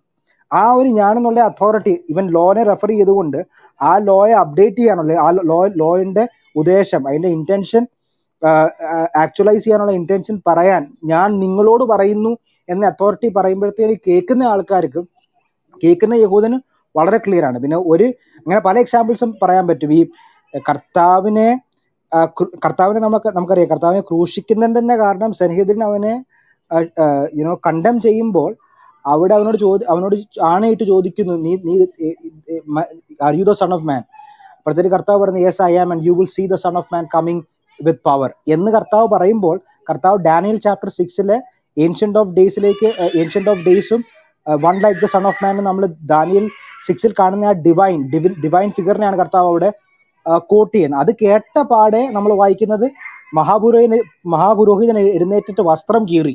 എന്നിട്ട് he's crying out blasphemy ദൈവദൂഷണം. You have heard it with your own ears അപ്പം കർത്താവിനെ കണ്ട കർത്താവിനെ യുനോ അറിഞ്ഞ കർത്താവിന് എതിരായിട്ട് നിന്ന ആൾക്കാരും കർത്താവിന്റെ ശിഷ്യന്മാരുടെ മുൻപിലും കർത്താവ് ദൈവമാണെന്നുള്ള കാര്യം വളരെ ക്ലിയർ ആയിട്ട് പ്രൊക്ലെയിം ചെയ്തിരുന്നു. പക്ഷെ അത് ഡെമോൺസ്ട്രേറ്റ് ചെയ്തത് അത് ഡെമോൺസ്ട്രേറ്റ് ചെയ്ത് റോമാലേഖനം പറയുന്ന പോലെ അവൻ ശക്തിയോടെ ദൈവം അവന്റെ ആ ദൈവത്തിന് തെളിയിക്കുന്നത് കർത്താവിന്റെ you know he's through his resurrection ആണ്. അത് മാത്രമല്ല ഒട്ട ലാസ്റ്റ് പ്രൂഫും കൂടെ പല കാര്യങ്ങളും നമുക്ക് ഇവിടെ പറയാൻ പറ്റും. നമ്മൾ നമ്മൾ നമുക്കറിയാം യുനോ അപ്പോസ്തല പ്രവൃത്തിയിൽ ക്രിസ്ത്യൻ മൂവ്മെന്റ് തുടങ്ങുമ്പോൾ തന്നെ നമ്മൾ നമുക്കറിയാം ഫസ്റ്റ് പ്രസംഗത്തിൽ തന്നെ പൗലൂസ് പറയുന്നത് പത്രോസ് പറയുന്നത് ആ ഇനോ മരണത്തിന് അവിടെ അവനെ പിടിച്ചു വെക്കാൻ അസാധ്യമായിരുന്നൊക്കെ പറഞ്ഞിട്ട് പത്രോസ് പറയുന്നത് ദൈവം അവനെ മനു- മനുഷ്യ മരിച്ചവരുടെ ഇടയിൽ നിന്ന് ഉയർപ്പിച്ചു. God raised from the dead അപ്പം God raised from the dead എന്ന് പറയുമ്പം കർത്താവ് തന്നെ പറയുന്നുണ്ട് യോഹനാന്റെ സുവിശേഷത്തിൽ രണ്ടാം അധ്യായത്തിൽ ഈ ഈ ആലയം നശിപ്പിക്കാൻ ഞാൻ I will raise it up I will build it up in three days അപ്പം ആ ആ ക്ലെയിം ആ ഇക്വാലിറ്റി ദൈവം യേശുവിന്റെ ശരീരത്തെ he raised from the dead എന്ന് പറയുമ്പോൾ ആ ആ ഡിവൈൻ ആ ഗോഡുമായിട്ട് ഇക്വാലിറ്റി മാത്രമല്ല ഐഡന്റിഫൈ ചെയ്തുകൊണ്ടാണ് കർത്താവ് പറഞ്ഞത് ഞാൻ you know I will raise it അപ്പൊ അങ്ങനത്തെ പല ക്ലെയിംസും നമുക്ക് വളരെ ക്ലിയർ ആയിട്ട് ഗോസ്പിൾസിൽ നിന്നും അല്ലാതെ നമുക്ക് കിട്ടുന്നുണ്ട് that he claim to be God himself ഇതുവരെ സംസാരിക്കാത്തവര് ആ ഓക്കെ താങ്ക് യു അത് മനസ്സിലായി ക്ലിയർ ആണ്. പിന്നെ ഇതുപോലെ അടുത്ത ക്വസ്റ്റിന് ട്രിനിറ്റിയെ കുറിച്ച് ബൈബിളിൽ നിന്ന് തന്നെ ഒന്ന് എക്സ്പ്ലെയിൻ ചെയ്യുമോ? ട്രിനിറ്റിയെ കുറിച്ച് ബൈബിളിൽ നിന്ന് തന്നെ പറയാം.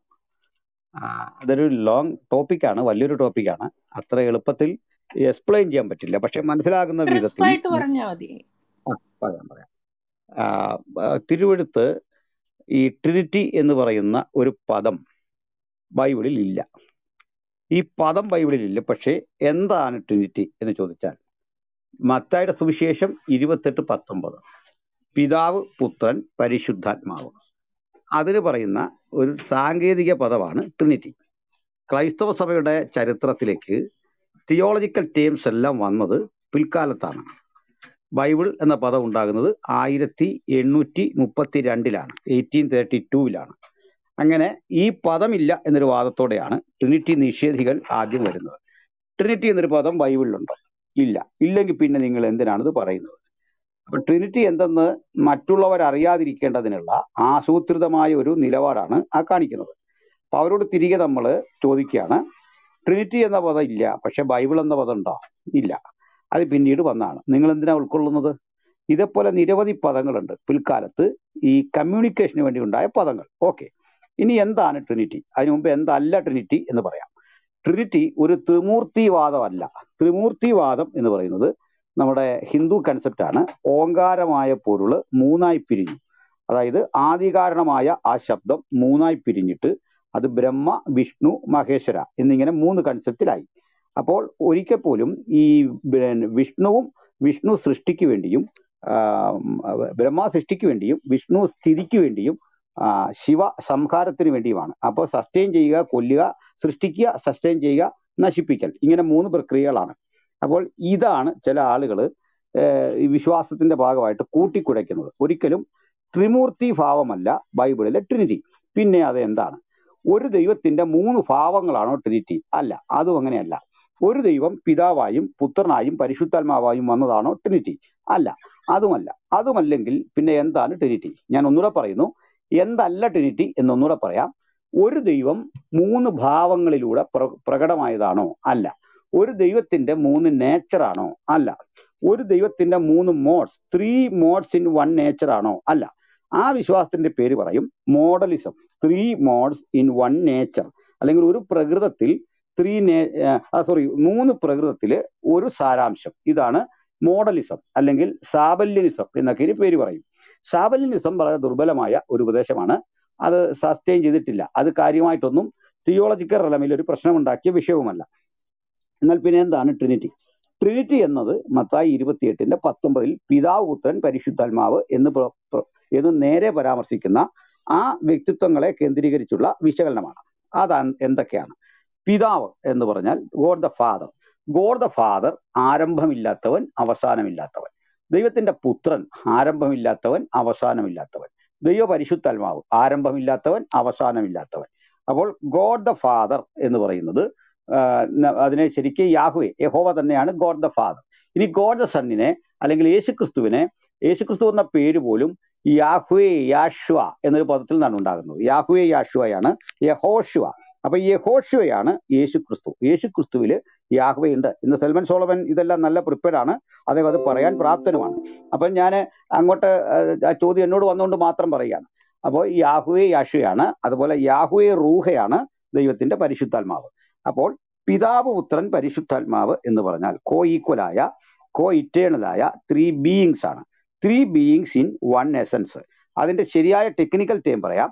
അതിന്റെ ടെക്നിക്കൽ ആയിട്ടുള്ള ടേം തിയോളജിക്കൽ ആയിട്ടുള്ള ടേം എന്ന് പറയുന്നത് one ousia O U S I A ousia is a Greek word for സാരാംശം ഉള്ളടക്കം.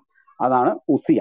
ദെൻ ത്രീ ഹൈപ്പോസ്റ്റാസീസ് മൂന്ന് ഹൈപ്പോസ്റ്റാസീസുകളാണ് God the father God the son God the holy spirit അപ്പൊ ദൈവത്തിൽ എന്തുണ്ട്? അതെല്ലാം ഗോഡ് ദ ഫാദറിലുണ്ട് ദൈവപുത്രനിലുമുണ്ട് ദൈവ പരിശുദ്ധന്മാരിലുമുണ്ട് അപ്പോൾ ഇവിടെ രണ്ട് വിഷയങ്ങൾ ഉടലെടുക്കും. രണ്ട് പ്രശ്നങ്ങളാണ് ഈ കാര്യത്തിൽ ഉടലെടുക്കുന്നത് God the father God the son and God the holy spirit എന്ന് പറയുന്ന ട്രിനിറ്റി ഈ വിഷയത്തെ സംബന്ധിച്ച് രണ്ട് ക്വസ്റ്റ്യൻസ് ശക്തമായി ഉടലെടുക്കും ഒന്ന് problem of inter relations and problem of arithmetics ഇതൊന്നുകൂടെ ഞാൻ വിശദീകരിച്ച് പറയാം. ഒന്ന് ഇതിന്റെ പഠനം വരുമ്പോൾ ഈ പിതാവ് പുത്രൻ ആരാണ്? പുത്രന് പരിശുദ്ധാത്മാവ് ആരാണ്? പരിശുദ്ധാത്മാവും പിതാവും ആരാണ്? ഇതാണ് പ്രോബ്ലം ഓഫ് ഇന്റർ റിലേഷൻസ് എന്ന് പറയുന്നത്. ഇനി അരിത്തമെറ്റിക്സ് ആണ്. പിതാവ് ദൈവമാണ്. ദൈവത്തിൽ ഒരു കുറവുമില്ലാത്ത ദൈവമാണ്. സകലതുമുള്ള ദൈവമാണ്. ദൈവം എന്ന് പറഞ്ഞാൽ മതി. സകല ഒരു കുറവില്ലെന്നൊന്നും പറയണ്ട. ഞാൻ മനസ്സിലാക്കാൻ പറഞ്ഞതേ ഉള്ളൂ. പിതാവ് എന്തായിരിക്കുന്നുവോ അതുപോലെ തന്നെയാണ് പുത്രൻ. അതും അപ്പോൾ കുറവുകളൊന്നുമില്ല. അത് തന്നെയാണ്. അതുപോലെ തന്നെയാണ് പരിശുദ്ധാത്മാവ്. അപ്പോൾ സ്വാഭാവികമായിട്ടും ഒരു ചോദ്യം വരുന്നു. ഗോഡ് ദ ഫാദർ സമം ഒന്ന്. ഗോഡ് ദ സൺ സമം ഒന്ന്. ഗോഡ് ദ ഹോളി സ്പിരിറ്റ് സമം ഒന്ന്. അപ്പോൾ one plus one plus one അത് എത്രയാണ് മുൻകാലങ്ങളിൽ ഈ ട്രിനിറ്റി വിശദീകരിച്ചവർ അതിന് one plus one plus one എന്ന് തന്നെ ഉത്തരം പറയാൻ ശ്രമിച്ചു. എന്നാൽ അതല്ല ശരി. ശരിക്കും സഭാചരിത്രത്തിലും അതുപോലെ ദൈവശാസ്ത്ര ചിന്തകരുടെ ഓരോ പുരോഗതി ഘട്ടത്തിലും ഈ ഉത്തരം പറയാൻ പറ്റാതെ വരുമ്പോൾ പറയുന്ന എന്തെങ്കിലും കൃത്രിമമല്ല ശരിക്കും സഭ ഇതിനെ നേരിട്ടിട്ടുള്ളത്. ശരിക്കും അത് one plus one plus one എന്ന് പറഞ്ഞു കഴിഞ്ഞാൽ ത്രീ എന്ന് തന്നെയാണ്. അതാണ് trinity one plus one plus one സമം ത്രീ ഇത് തന്നെയാണ് കൃത്യമായി ചർച്ച പഠിപ്പിച്ചിട്ടുള്ളത്. അപ്പോൾ അതെങ്ങനെയാകും? മൂന്ന് ദൈവങ്ങളാണോ? അല്ല എന്ന് തന്നെയാണ് ഉത്തരം. അതെങ്ങനെ ശരിയാകും? പറയാം. മൂന്ന് ദൈവങ്ങളെന്ന് ഒരു ഘട്ടത്തിലും ക്രിസ്ത്യാനിറ്റിക്ക് പഠിപ്പിക്കലില്ല. അതിന്റെ കാരണം എന്താ? അത് വ്യക്തമാക്കാം. അപ്പോൾ ദൈവം ഇൻഫിനിറ്റ് ആണ് നമുക്കറിയാം. സർവശക്തിയുടെ സർവജ്ഞാനിത്വത്തിന്റെ എല്ലാ നിലയിലും ദൈവമെന്തോ അതാണ് പിതാവ്. ദൈവമെന്തോ അതാണ് പുത്രൻ. ദൈവമെന്തോ അതാണ് പരിശുദ്ധാത്മാവ്. അപ്പോൾ ത്രീ ഇൻഫിനിറ്റ് ഒരുമിച്ചാൽ ത്രീ ഇൻഫിനിറ്റ് അതേ പവറോടെ അതേ നേച്ചറോടെ അതേ നിലയിൽ ഒത്തുകൂടിയാൽ ടൈമിനും സ്പേസിനും അതീതനായവൻ അതേ നിലയിൽ വന്നാൽ ത്രീ ഇൻഫിനിറ്റ് വന്നാൽ ത്രീ ആവില്ല വൺ ആകാനേ പറ്റൂ. അപ്പോൾ ഒരുമിച്ച് കൂടിയാൽ മൂന്നല്ല ഒന്നാകാനേ പറ്റൂ. അപ്പോൾ ത്രീ ഇൻഫിനിറ്റ്സ് ഓരോ ആളിലും എടുത്താലും ആ ത്രീ ഇൻഫിനിറ്റ്സ് ഒന്നാവുകയുള്ളൂ അതിന്റെ കണക്കനുസരിച്ച്. അപ്പോൾ അതാണ് ക്രിസ്ത്യാനിറ്റിയുടെ ഒരു പഠിപ്പിക്കൽ. ഇനി അതൊന്നുകൂടെ ആ അരിത്തമാറ്റിക്സ് വിശദീകരിച്ചാൽ ഈ ഒന്ന് മറ്റ് ഓ- ഓ- മൂന്ന് ഒന്നുകൾ ചേർന്ന് എങ്ങനെ ഒന്നാകും? അതും പറയാം. മൂന്ന് ഒന്നുകൾ ചേർന്ന് എങ്ങനെ ഒന്നാകും എന്നത് പറയാം. വളരെ എളുപ്പത്തിൽ ഞാൻ ഉപയോഗിക്കുന്ന ഉദാഹരണങ്ങളെല്ലാം ബൈബിളിൽ നിന്നുള്ള ഉദാഹരണമാണ്. ബൈബിളിൽ പുറത്തെ ഉദാഹരണങ്ങൾ ദൈവത്തെക്കുറിച്ച് പറയുമ്പോൾ കഴിവതും ഒഴിവാക്കുന്നതാണ് യുക്തി. ബുദ്ധിയും അതാണ്. വിവേകത്തോടെ അത് ചെയ്യേണ്ടി വരും. അല്ല എങ്കിൽ അതിലെല്ലാം ചില പ്രതിസന്ധികളുണ്ട്. കറക്റ്റ് ബിബ്ലിക്കൽ എക്സാമ്പിൾ തന്നെ കൊടുക്കണം. കാരണം ട്രിനിറ്റി ഒരു ബിബ്ലിക്കൽ സബ്ജക്റ്റ് ആണ് എങ്ങനെ ത്രീ വൺ ചേർന്ന് വൺ ആകും അത് പറയാം. ത്രീ പേഴ്സൺസ് ചേർന്ന് ഒരേ എസൻസ് ആകുന്നത് എങ്ങനെയെന്ന് പറയാം. ടാബർനാക്കിലേക്ക് ചെല്ലുക സമാഗമന കൂടാരം. ഈ സമാഗമന കൂടാരത്തിൽ മെനോറ എന്നറിയുന്ന ഒരു ഉപകരണമുണ്ട്. ആ മെനോറ എന്ന് പറയുന്നത് തങ്ക നിലവിളക്ക് അതാണ് മലയാളം പറയുന്നത് തങ്ക നിലവിളക്ക് ആ തങ്ക നിലവിളക്കിലേക്ക് വെളിച്ചം പകരുക അത് ഇടിച്ചെടുത്ത ഒലിവെണ്ണയുടെ ഓയിലാണ് അതിലേക്ക് ഉപയോഗിക്കുന്നത്. ആ വെളിച്ചം ഇങ്ങനെ കത്തി അതിന്റെ ജ്വാല ആ പ്രകാശം മുഴുവൻ കൂടാരത്തെ പ്രശോഭിതമാക്കുന്ന ഘട്ടത്തിൽ കൂടാരം മുഴുവൻ ആ വെളിച്ചത്തിൽ കുളിച്ചു നിൽക്കുകയാണ്. ഈ ഘട്ടം മറ്റൊരു വെളിച്ചം അതിലേക്ക് വരാം. ഇടക്കിടക്ക് വരാവുന്ന ആ വെളിച്ചത്തിന്റെ ഹീബ്രുവയുടെ ഷെക്കൈന എന്നാണ്. എന്താണ് ഈ ഷെക്കൈന? ആ ഷെക്കൈന എന്ന് പറയുന്നത് ഒരു തേജസ്സാണ്. ആ തേജസ് യഹോവയുടെ തേജസ് ആലയത്തിന്റെ മീതെ നിന്നു. ഈ തേജസിന്റെ പ്രത്യേകത ഇത് ട്രാൻസ്പേരന്റ് ആണ്. ഏത് കനത്ത ഭിത്തിയെയും അത് ജീവിച്ചു വരും. അത് വന്ന് കൂടാരത്തെ വലയം ചെയ്തിരിക്കുമ്പോൾ അകത്തേക്ക് ഈ വെളിച്ചം ഇറങ്ങി വരുമ്പോൾ മെനോറയിലെ വെളിച്ചം അതും ആ പുറമേ നിന്നുള്ള ഈ ഷെക്കേനയുടെ വെളിച്ചവും ചേർന്ന് ഒരു വെളിച്ചമാകുന്നത് പോലെ മൂന്ന് പ്രവാഹങ്ങൾ ഒരേ അളവിൽ ഒരേ തൂക്കത്തിൽ വെളിച്ചത്തിന്റെ പ്രവാഹങ്ങൾ ഒന്നാകുന്നത് പോലെ ഈ രണ്ട് പ്രവാഹങ്ങൾ വെളിച്ചത്തിന്റെ ആ ജ്വലനം ഒന്നായി തീർന്നതുപോലെ പിതാവിൽ പുത്രനിൽ പരിശുദ്ധാത്മാവിൽ തീർച്ചയായിട്ടും ഈ സംഘടിത ഭാവമുണ്ട് രൂപമുണ്ട്. അപ്പോൾ തന്നെ പിതാവ് വേറിട്ട തന്റെ പ്രവൃത്തി ചെയ്യുന്നുണ്ട് പുത്രൻ വേറിട്ട തന്റെ പ്രവൃത്തി ചെയ്യുന്നുണ്ട് പരിശുദ്ധാത്മാവ് വേറിട്ട പ്രവൃത്തി ചെയ്യുന്നുണ്ട്. അതെന്താണ്? ദൈവ പിതാവല്ല ക്രൂശിൽ മരിച്ചത് ദൈവപുത്രനാണ്. ദൈവ പരിശുദ്ധാത്മാവുമല്ല ക്രൂശിൽ മരിച്ചത് അത് ദൈവപുത്രൻ മാത്രമാണ്. ദൈവപുത്രന്റെ അഭാവത്തിൽ ഇന്ന് സഭയുടെ മെന്റർ ഹോളി സ്പിരിറ്റ് ആണ് ഇനി നമ്മൾ ചെന്നണയാനുള്ളത് പിതാവിന്റെ സവിധമാണ്. അപ്പോൾ ഇനി അടുത്തൊരു കാര്യം കൂടി. ദൈവത്തെക്കുറിച്ച് പരാമർശിക്കുമ്പോൾ ഒരു ഡെഫനിഷൻ ഇല്ല. ആർക്കും ഡിഫൈൻ ചെയ്യാൻ പറ്റില്ല ദൈവത്തെ. പക്ഷെ ദൈവത്തെ അനുഭവിക്കാൻ സാധിക്കും. പക്ഷെ ദൈവത്തെക്കുറിച്ച് നമുക്ക് കിട്ടാവുന്ന ഒരു ചെറിയ ഡെഫനിഷൻ ഉണ്ട്. അർത്ഥവത്തായതും മനുഷ്യന്റെ വീക്ഷണത്തിൽ അർത്ഥവത്തായ അപ്പോൾ തന്നെ ചെറിയൊരു ഡെഫനിഷൻ അത് ദൈവം സ്നേഹം തന്നെ എന്നാണ്. ദൈവ സ്നേഹമാണ് നിത്യസ്നേഹത്താലാണ് ദൈവം നമ്മളെ വീണ്ടെടുത്തത്. അപ്പൊ ഈ ദൈവ സ്നേഹമാകണമെങ്കിൽ ദൈവം ആരെയാണ് സ്നേഹിച്ചത്? ദൈവം സ്നേഹിച്ചത് തന്റെ സൃഷ്ടിയാണെങ്കിൽ ആ സൃഷ്ടിക്ക് ആരംഭമുള്ളത് കൊണ്ട് സ്നേഹത്തിന് ആരംഭമുണ്ടെന്ന് പറഞ്ഞാൽ നിത്യസ്നേഹമല്ല എന്ന് വരുന്നു. ദൈവം ഏതെങ്കിലും ഒരു വസ്തുവിനെ തന്റെ സൃഷ്ടിയാണ് സ്നേഹിച്ചതെങ്കിൽ അതിന് ബിഗിനിങ് ഉണ്ട്. അതുകൊണ്ട് നിത്യസ്നേഹം എന്ന പദം ഇറ്റേണൽ ലവ് എന്ന പദപ്രയോഗത്തിന് അർത്ഥമില്ല. പിന്നെ ഇറ്റേണൽ അഫക്ഷൻ ആരാണ്? ആരോടാണ്? പറയാം പിതാവില്ലാതിരുന്ന കാലമില്ല പുത്രൻ ഇല്ലാതിരുന്ന കാലമില്ല. പിതാവ് പുത്രൻ പരിശുദ്ധാത്മാവ് ഇല്ലാതിരുന്ന കാലമില്ല ഇവർ മൂവരും ഇല്ലാതിരിക്കുന്ന കാലമില്ല. അങ്ങനെ പൗരാണികമായ ആ നിത്യതയിൽ ഏൻഷ്യന്റ് ഓഫ് ഡേയ്സ് എന്താണ് സംഭവിക്കുന്നത്? ആ നിത്യതയിൽ ദൈവപുത്രനെയും ദൈവപിതാവും ദൈവപരിശുദ്ധമല്ലമാവും സ്നേഹത്തിന്റെ പാരമ്യത്തിൽ ആ പാരസ്പര്യത്തിൽ ഇരുന്നു എന്നാണ് ക്രിസ്ത്യൻ തിയോളജി എക്സ്പ്ലെയിൻ ചെയ്യുന്നത്. യോഗന്നാന്റെ സുവിശേഷം പതിനേഴാം അധ്യായത്തിൽ പറയുകയാണ്. കൃത്യമായി തന്നെ പറയുകയാണ്. പിതാവേ ലോകാരംഭത്തിനു മുമ്പ് അങ്ങയുടെ അരികിൽ എനിക്കുണ്ടായിരുന്ന മഹത്വത്തിലേക്ക് എന്നെ തിരികെ എത്തിക്കുക. അതാണ് പ്രാർത്ഥന. ലോർഡ്സ് പ്രെയർ അതാണ്. Gospel of John chapter seventeen അത് കൃത്യം എക്സ്പ്ലെയിൻ ചെയ്യുന്നു. അപ്പോൾ ട്രിനിറ്റി എന്ന് പറയുന്നത് ഒരു നവീന ഉപദേശമല്ല. എ ഡി മുന്നൂറ്റി ഇരുപത്തി അഞ്ചിലെ നിക്ക സുന്നോദോസ് ഉണ്ടല്ലോ. ഈ സിന്നോദോസിൽ വെച്ച് ട്രിനിറ്റി സ്ഥാപിച്ചു എന്ന് പറയുന്നവരുണ്ട്. അല്ല. അതുവരെ ട്രിനിറ്റി കൃത്യം ഫോളോ ചെയ്ത ആളുകൾക്കിടയിൽ അരിയൂസിനെ പോലുള്ള ചില ആളുകൾ വിരുദ്ധോപദേശം പറഞ്ഞപ്പോൾ ആ വിരുദ്ധ ഉപദേശത്തെ ഖണ്ഡിച്ച് ഒരിക്കൽ കൂടി സ്ഥിരീകരിക്കായിരുന്നു ഈ ട്രിനിറ്റി അവിടെ വെച്ച്. അല്ലാതെ ട്രിനിറ്റി അവിടെ വെച്ചല്ല സ്ഥാപിക്കപ്പെട്ടത്. ട്രിനിറ്റി അതിനു മുമ്പേ നിലനിന്നിരുന്ന ഹോളി ട്രിനിറ്റി എന്ന വിശ്വാസമാണ്. അതിപരിശുദ്ധമായ ഒരു വിശ്വാസമാണ് സഭയുടെ. അപ്പോൾ ട്രിനിറ്റി എന്നത് മറ്റൊരു കാര്യം കൂടി പറഞ്ഞ് ഞാൻ തൽക്കാലം ഉപസംഹരിക്കാം. ബൈബിളിലെ വാക്യങ്ങൾ വേണമെങ്കിൽ തരാം. അതിനൊന്നും ബുദ്ധിമുട്ടില്ല. എന്നാൽ അതിന്റെ തിയറിയാണ് ഞാൻ പറഞ്ഞുകൊണ്ടിരിക്കുന്നത്. ഈ ദൈവം ഏകനാണ് എന്ന് വിശ്വസിക്കാൻ ഒരു മതഗ്രന്ഥത്തിന്റെയും ഒരു വേദഗ്രന്ഥത്തിന്റെയും ആവശ്യമില്ല. ഒരു വേദഗ്രന്ഥവും വേണ്ട. കാരണം അത് നാച്ചുറൽ ആയിട്ട് മുമ്പ് ഇവിടെ ആശയർ സൂചിപ്പിച്ച പോലെ കൃത്യമായി തന്നെ മനുഷ്യന്റെ അപബോധം ആ ബോധത്തിൽ കിടപ്പുണ്ട് ആരാണ് ദൈവം. അത് ഏകനാണ് ഏകനാണെന്ന് എല്ലാ വ്യക്തികൾക്കും അറിയാം. എല്ലാ ജീവജാലങ്ങൾക്കും ദൈവത്തിന്റെ ഏകത്വം ബോധ്യമുണ്ട്. ട്രിനിറ്റി ബോധ്യം വരാത്തതിന്റെ കാരണം ട്രിനിറ്റി ഒരു റെവലേഷൻ ആണ് വെളിപ്പെടലാണ്. ആ വെളിപ്പാട് കിട്ടിയവർക്ക് കൃത്യം മനസ്സിലാകുന്നു ട്രിനിറ്റി ഒരു റിയാലിറ്റിയാണ് ട്രിനിറ്റി വെളി- വെളിപ്പാടിനാൽ മനസ്സിലാക്കേണ്ടതാണ്. മറഞ്ഞിരുന്ന ആ വസ്തുത നമുക്ക് വെളിപ്പെടുത്തി തന്നത് യേശുവാണ്. എന്നോട് ചോദിക്കുക ആരാണ് താങ്കളെ ട്രിനിറ്റി പഠിപ്പിച്ചത്? ഞാൻ പറയും Lord Jesus himself taught me what is trinity കാരണം മാത്യു ചാപ്റ്റർ ട്വന്റി എയ്റ്റിൽ പിതാവിന്റെയും പുത്രന്റെയും പരിശുദ്ധാത്മാവിന്റെയും നാമത്തിൽ ദൈവപുത്രൻ ആയ ക്രിസ്തു ദൈവമാണോ? തീർച്ചയായും. എന്താ തെളിവ്? യോവനാണ് ഒന്നിന്റെ ഒന്ന്. ആദിയിൽ ലോഗോസ് ഉണ്ടായിരുന്നു. ലോഗോസ് ദൈവത്തോടു കൂടെയായിരുന്നു. ലോഗോസ് ദൈവമായിരുന്നു. അവിടെ തന്നെ ട്രിനിറ്റി വളരെ കൃത്യമായി തന്നെ രേഖപ്പെടുത്തിയിരിക്കുന്നു. ഗോഡ് ദ സൺ ദൈവമാണെന്ന് എങ്ങനെ പറയാം? അത് റോമർക്കെഴുതി ലേഖനം ഒമ്പതിന്റെ അഞ്ച് നയൻ ഫൈവ് സർവത്തിനും മീതെ ദൈവമായി വാഴ്ത്തപ്പെട്ടവനാണ് കർത്താവായ യേശു. ഇനി രണ്ട് പതിമൂന്ന് തിത്തോസ് അവിടെ രേഖപ്പെടുത്തിയിരിക്കുന്നു.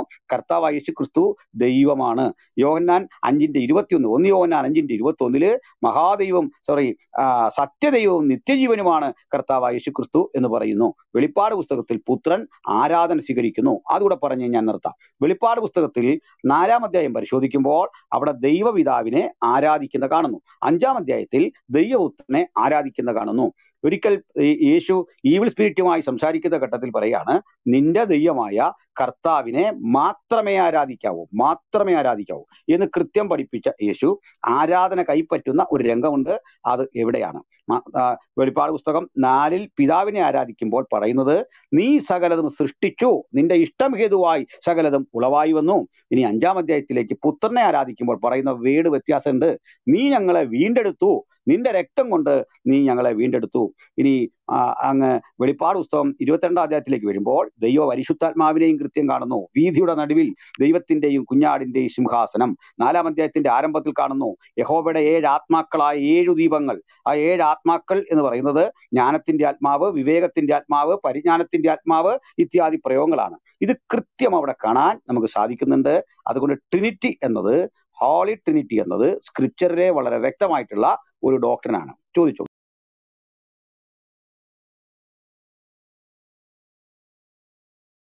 ഹലോ ആ താങ്ക് യു താങ്ക് യു പാസ്റ്ററെ മനസ്സിലായി. പിന്നെ ഇതൊരു റെവലേഷൻ ആണെന്ന് പാസ്റ്റർ പറഞ്ഞല്ലോ. അതുപോലെ തന്നെ ഇത് സംശയിച്ച ഇത് അങ്ങനെയല്ല എന്ന് പറയുന്നവര് നമ്മൾ എന്ത് പറഞ്ഞാലും അവർ വിശ്വസിക്കത്തുമില്ലല്ലോ. അപ്പം അത് എനിക്ക് മനസ്സിലായി. താങ്ക് യു പാസ്റ്ററെ പിന്നെ എന്റെ മൂന്നാമത്തെ ഒരു ക്വസ്റ്റ്യൻ എന്ന് പറഞ്ഞാൽ ഇപ്പം ഇപ്പോഴത്തെ കറണ്ട് സിറ്റുവേഷനെ ബേസ് ചെയ്തുള്ളതാ. അപ്പോൾ പൊതുവേ നമ്മളിപ്പോൾ എന്താ പറയുക മറ്റ് മതത്തിലുള്ളവരെ കളിയാക്കി കളിയാക്കുക മീൻസ് എന്താ പറയുക പലപ്പോഴും ആ ഒരു ആംഗിളിലേക്ക് പോയിട്ട് അവരെ ഹേർട്ട് ചെയ്ത് അല്ലെങ്കിൽ അവരെ വിഷമിപ്പിക്കുന്ന പോലെയുള്ള കുറേ സംസാരങ്ങളൊക്കെ ഉണ്ടോ? ഉണ്ടല്ലോ. അപ്പം ഈ സുവിശേഷം നമ്മൾ പറയേണ്ടത് അല്ലെങ്കിൽ യേശുക്രിസ്തുവിനെ പ്രസന്റ് ചെയ്യേണ്ടത് മറ്റുള്ളവരുടെ ആ വിശ്വാസങ്ങളെ ഹേർട്ട് ചെയ്ത് അവരെ വിഷമിപ്പിച്ചിട്ട് ആ രീതിയിൽ പോയാൽ അത് എത്രമാത്രം അത് ശരിയാകുമെന്ന് ഒന്ന് പറയുമോ? അതിനൊരു കൃത്യതയാർന്ന മറുപടി പറയേണ്ട ഒരു ടോപ്പിക്കാണ്. അതിന്റെ കാരണം ഈ ക്രിസ്ത്യാനിറ്റിയുടെ നിലപാട് എന്നത് ആത്മസംയമനത്തിന്റെയും ആ, ദൈവകൃപയിൽ അധിഷ്ഠിതമായ സ്നേഹത്തിന്റെയും ഒരു നിലവാരത്തിൽ വേണം നമ്മൾ ഇടപെടാൻ. അതിൽ ഏറ്റക്കുറച്ചിലുകൾ ഉണ്ടായ സന്ദർഭം ഉണ്ടാകാറുണ്ട്. കാരണം മനുഷ്യർ എന്ന നിലയിൽ ചില ഘട്ടങ്ങളിൽ സംഭവിച്ചിട്ടുണ്ട്. അത് എവിടെങ്കിലും അങ്ങനെ പരിമിതി ഉണ്ടെങ്കിൽ അത് തിരുത്തുക എന്നൊരു ലക്ഷ്യവും ഐ ബി ടി ക്രിസ്ത്യൻ ഡിബേറ്റിൽ നമ്മൾ സൂക്ഷിക്കാറുണ്ട്. ഇനി പൊതുവിലൊരു കാര്യം കൂടി പറയാം. ക്രൈസ്തവർ പൊതുവെ അന്യമത വിമർശന തൽപരരല്ല. അതാണ് അതിന്റെ സത്യം. കാരണം അതിനുള്ളൊരു നേരം അവർക്കില്ല. വളരെ വാസ്റ്റായ ഒത്തിരി കാര്യങ്ങൾ പഠിക്കേണ്ടതും വിശദീകരിക്കേണ്ടതും ചിന്തിക്കേണ്ടതുമായ ആളുകളാണ് ക്രൈസ്തവർ. ഒത്തിരി ഉത്തരവാദിത്തങ്ങൾ അവർക്കുണ്ട്. അതിൽ സാമൂഹ്യ പ്രവർത്തനങ്ങളുണ്ട് ജീവകാരുണ്യപരമായ ഒട്ടേറെ ധർമ്മങ്ങളുണ്ട്. അതിനിടയ്ക്ക് അന്യമത പഠനം നന്നായിട്ടുണ്ട്. പക്ഷെ അവരത് വിമർശിക്കാൻ വേണ്ടിയല്ല ഡയലോഗുകൾക്ക് വേണ്ടിയാണ്. പക്ഷെ ക്രൈസ്തവ പക്ഷത്ത് നിന്ന് യാതൊരുവിധ പ്രകോപനവും ഇല്ലാത്ത ഘട്ടത്തിൽ ബൈബിൾ സംഭവങ്ങൾ മുഴുവൻ ഫോഷ്കാണെന്നും അതിന്റെ ഉള്ളടക്കങ്ങളെ വിമർശിച്ച്. സാധാരണ ജനങ്ങൾക്കിടയിലേക്ക് സംശയം വിതയ്ക്കുന്ന ഒരു പരിതസ്ഥിതി ചില പ്രത്യേക മേഖലകളിൽ നിന്നുണ്ടായി. ബൈബിൾ തിരുത്തപ്പെട്ടു. ബൈബിളിൽ കൂട്ടിച്ചേർക്കലുണ്ട്. യേശുക്രിസ്തു പറഞ്ഞ സുവിശേഷം സുവിശേഷമല്ല ഇപ്പൊ കയ്യിലിരിക്കുന്നത്. അത് പൗലോസ് വ്യാജനാണ്.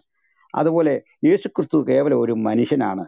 അത് മുഹമ്മദിനൊക്കെ താഴെ നിലവാരമുള്ള വ്യക്തിയാണ് എന്ന് പറയുമ്പോൾ ക്രൈസ്തവർക്ക് ഏറെ പ്രാധാന്യമുള്ള ഈ വിഷയത്തെ ഡിഫെൻഡ് ചെയ്യേണ്ട ആവശ്യമുണ്ടായി. മാത്രമല്ല ക്രൈസ്തവ സമൂഹത്തിൽ വന്നിട്ട് ഈ യേശുക്രിസ്തുവിനേക്കാൾ മെച്ചപ്പെട്ട ശ്രേഷ്ഠനായ ഒരു മാർഗദർശിയാണ് മുഹമ്മദ് എന്ന പഠനങ്ങൾ ഉണ്ടായി അത് ഞ നമ്മൾ പഠിച്ച് മറുപടി പറയേണ്ട ഒരു പരിസ്ഥിതി വന്നു. ഒരു കാര്യം ഇപ്പോൾ ഉറപ്പായി. ഇന്നിനിയിപ്പോൾ ഈ സംവാദത്തിന് പ്രസക്തി ഇല്ലാതെ ആയിക്കൊണ്ടിരിക്കുന്നു. കാരണം ഇത്തരം വാദങ്ങൾ ഉന്നയിച്ച ആളുകൾക്ക് മറുവാദങ്ങൾക്ക് പ്രസക്തി ഇല്ലാതെ വണ്ണം അവർ സംവാദ മേഖലകളിൽ നിന്ന് ഏതാണ്ടൊക്കെ മാറി കഴിഞ്ഞിരിക്കുന്നു. ഇപ്പൊ എന്റെയും നിലവാരം നിലപാട് ഇനിയുള്ളൊരു കാലത്ത് അത്തരം ചർച്ചകൾക്ക് പ്രസക്തി ഇല്ലാതായിരിക്കുന്നു. കാരണം മറുവശത്ത് എതിർക്കാൻ ആരുമില്ല. കാരണം അത്രമാത്രം ക്രിസ്ത്യൻ തിയോളജി വളരെ സ്ട്രോങ് ആണ് അതിന്റെ ആ മിനിസ്ട്രി വളരെ ആക്റ്റീവാണ്. പ്രതിരോധിക്കാൻ വേണ്ട എല്ലാ സെറ്റപ്പുകളും ആത്മീയമായി അവരോട് ചോദിക്കാനുള്ള കാര്യങ്ങൾ കിടക്കുന്നു. ആ ചോദ്യങ്ങൾക്കൊന്നും ഉത്തരം പോലും ഇല്ലാതെയാണ് അത്തരം ദാവാ പ്രഭാഷകർ കളം വിട്ടുപോയത്. അതുകൊണ്ട് തന്നെ ഇനിയുള്ള ഒരു കാലം നമ്മൾ ഐ വി ടി സംഘടിപ്പിക്കുന്ന ഇപ്പോഴത്തെ ചർച്ചകൾ നിങ്ങൾ കണ്ടിട്ടുണ്ടാകും. അതൊക്കെ തികച്ചും ബൈബിൾ സെന്റേഡ് ആയ കാര്യങ്ങൾ മനുഷ്യന് പ്രയോജനപ്രദമായ കാര്യങ്ങളിലേക്ക് വരണം ഖണ്ഡനം അനിവാര്യമായ കാലത്ത് ആ രൂപത്തിൽ ചെയ്യണം. ഇതാണ് നമ്മുടെ ആഗ്രഹവും താല്പര്യവും. ഒരു കാര്യം കൂടെ ഞാൻ ആഡ് ചെയ്യുന്നു. ഈ ട്രിനിറ്റിയോട് ബന്ധപ്പെട്ട് എനിക്കേറെ ഇൻട്രസ്റ്റ് ഉള്ള ഒരു മേഖലയാണത്. അതുകൊണ്ട് ഒന്നുകൂടെ പറയാം. ഈ ട്രിനിറ്റി എന്നുള്ളത് വിശ്വസിക്കാൻ തുടങ്ങിയപ്പോഴാണ് എനിക്ക് വാസ്തവത്തിൽ കൂടുതൽ ഭക്തി വർദ്ധിച്ചത് ദൈവത്തോട്. അതിന്റെ കാര്യം കൂടി പറയാം. ഈ ദൈവപിതാവ് എന്ന് പറയുന്നത് മനുഷ്യനെ സംബന്ധിച്ചോളം അപ്രാപ്യനായ ഒരു മഹാദൈവമാണ്. ദൈവം എന്ന് പറയുമ്പോഴേ നമുക്ക് അപ്രാപ്യനായ ഒരു വ്യക്തി തന്നെയാണ് ഒരളവിൽ കാരണം മനുഷ്യരാരും കണ്ടിട്ടില്ലാത്തവൻ കാണാൻ കഴിയാത്തവൻ അടുത്തുകൂടാത്ത വെളിച്ചത്തിൽ വസിക്കുന്നവൻ അങ്ങനെയുള്ള ക്വാളിറ്റികളുള്ള ദൈവത്തെ. ദുർബലനായ എനിക്ക് കണ്ടാൽ പോലും ഭയമാകുന്നു. ദൈവത്തെ സാന്നിധ്യം കിട്ടിയവരൊക്കെ പറയുന്നത് മരിച്ചവനെ പോലെ ഞാൻ അവന്റെ മുമ്പിൽ വീണു. കാരണം ദൈവം അത്ര സർവശക്തനായ ഒരു ദൈവത്തിന്റെ മുമ്പിൽ ദുർബലനായ ഞാൻ പാപം നിറഞ്ഞ ഞാൻ തെറ്റുകൾ പ്രവർത്തിച്ച ഞാൻ ചെല്ലുമ്പോൾ അയ്യോ ഞാൻ അരിഷ്ട മനുഷ്യൻ എന്നൊരു തി- വകതിരിവുണ്ടായി അവിടെ വീഴുന്ന ഒരു സ്ഥിതി ഉണ്ടാകുന്നു. നേരെ നിൽക്കാൻ ത്രാണിയില്ലാത്ത ഒരവസ്ഥ ഉണ്ടാകുന്നു.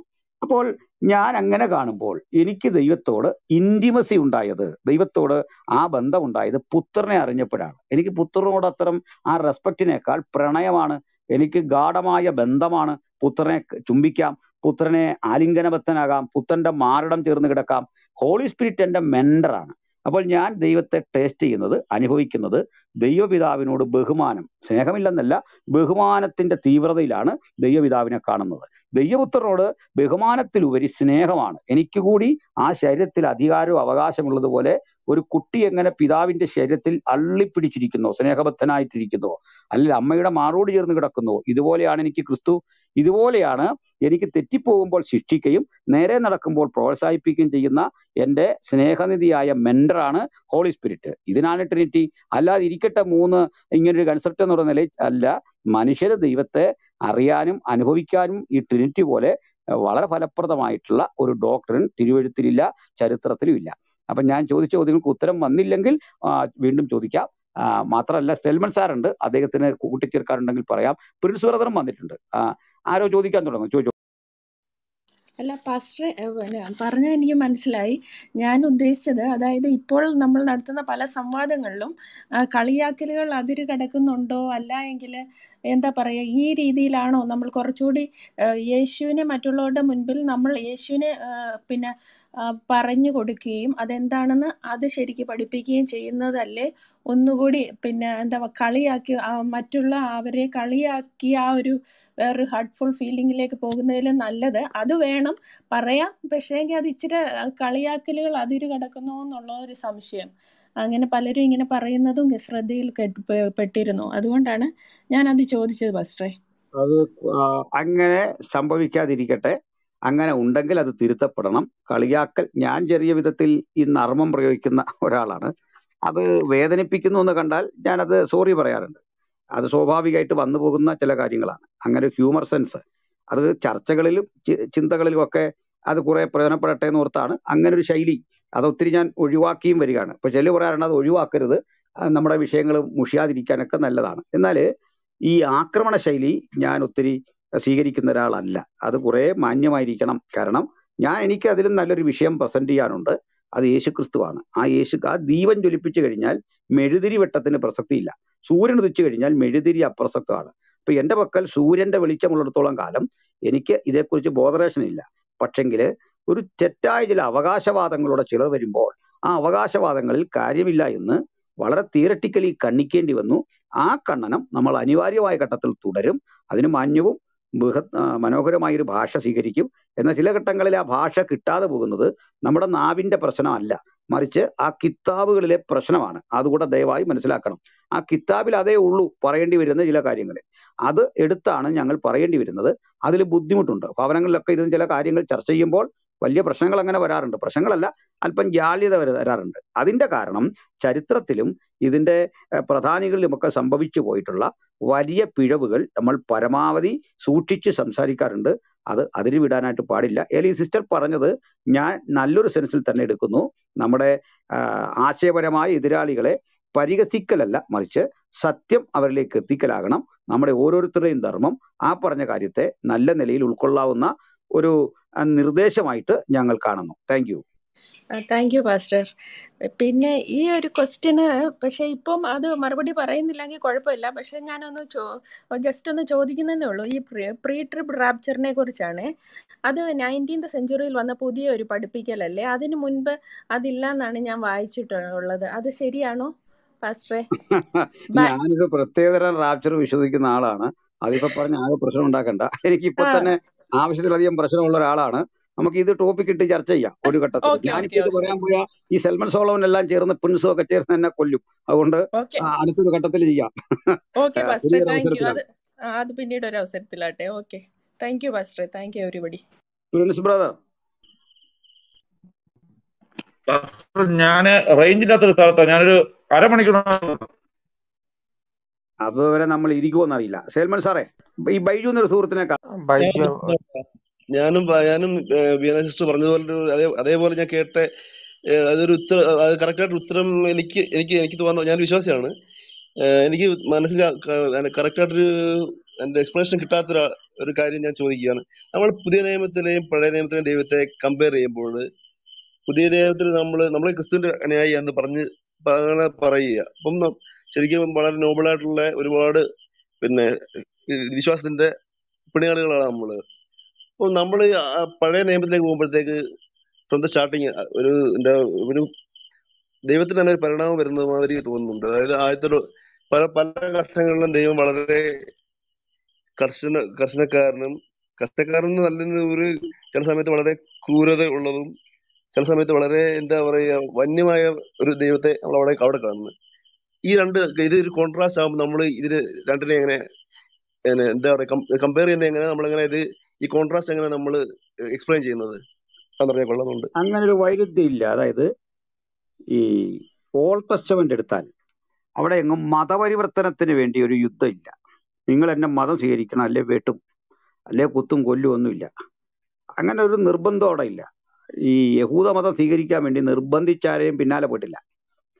അതുപോലെ തന്നെ ഈ യുദ്ധം വന്നതൊക്കെ പൊളിറ്റിക്കൽ പർപ്പസിനാണ് പൊളിറ്റിക്കൽ. അത് ഇസ്രയേലൈറ്റ്സിന്റെ രാജ്യമായിരുന്നു ഇസ്രയേൽ. അതെങ്കിൽ മോശയുടെ നേരത്ത് വന്ന ജനത്തിന്റെ രാജ്യമായിരുന്നു ഇസ്രയേൽ.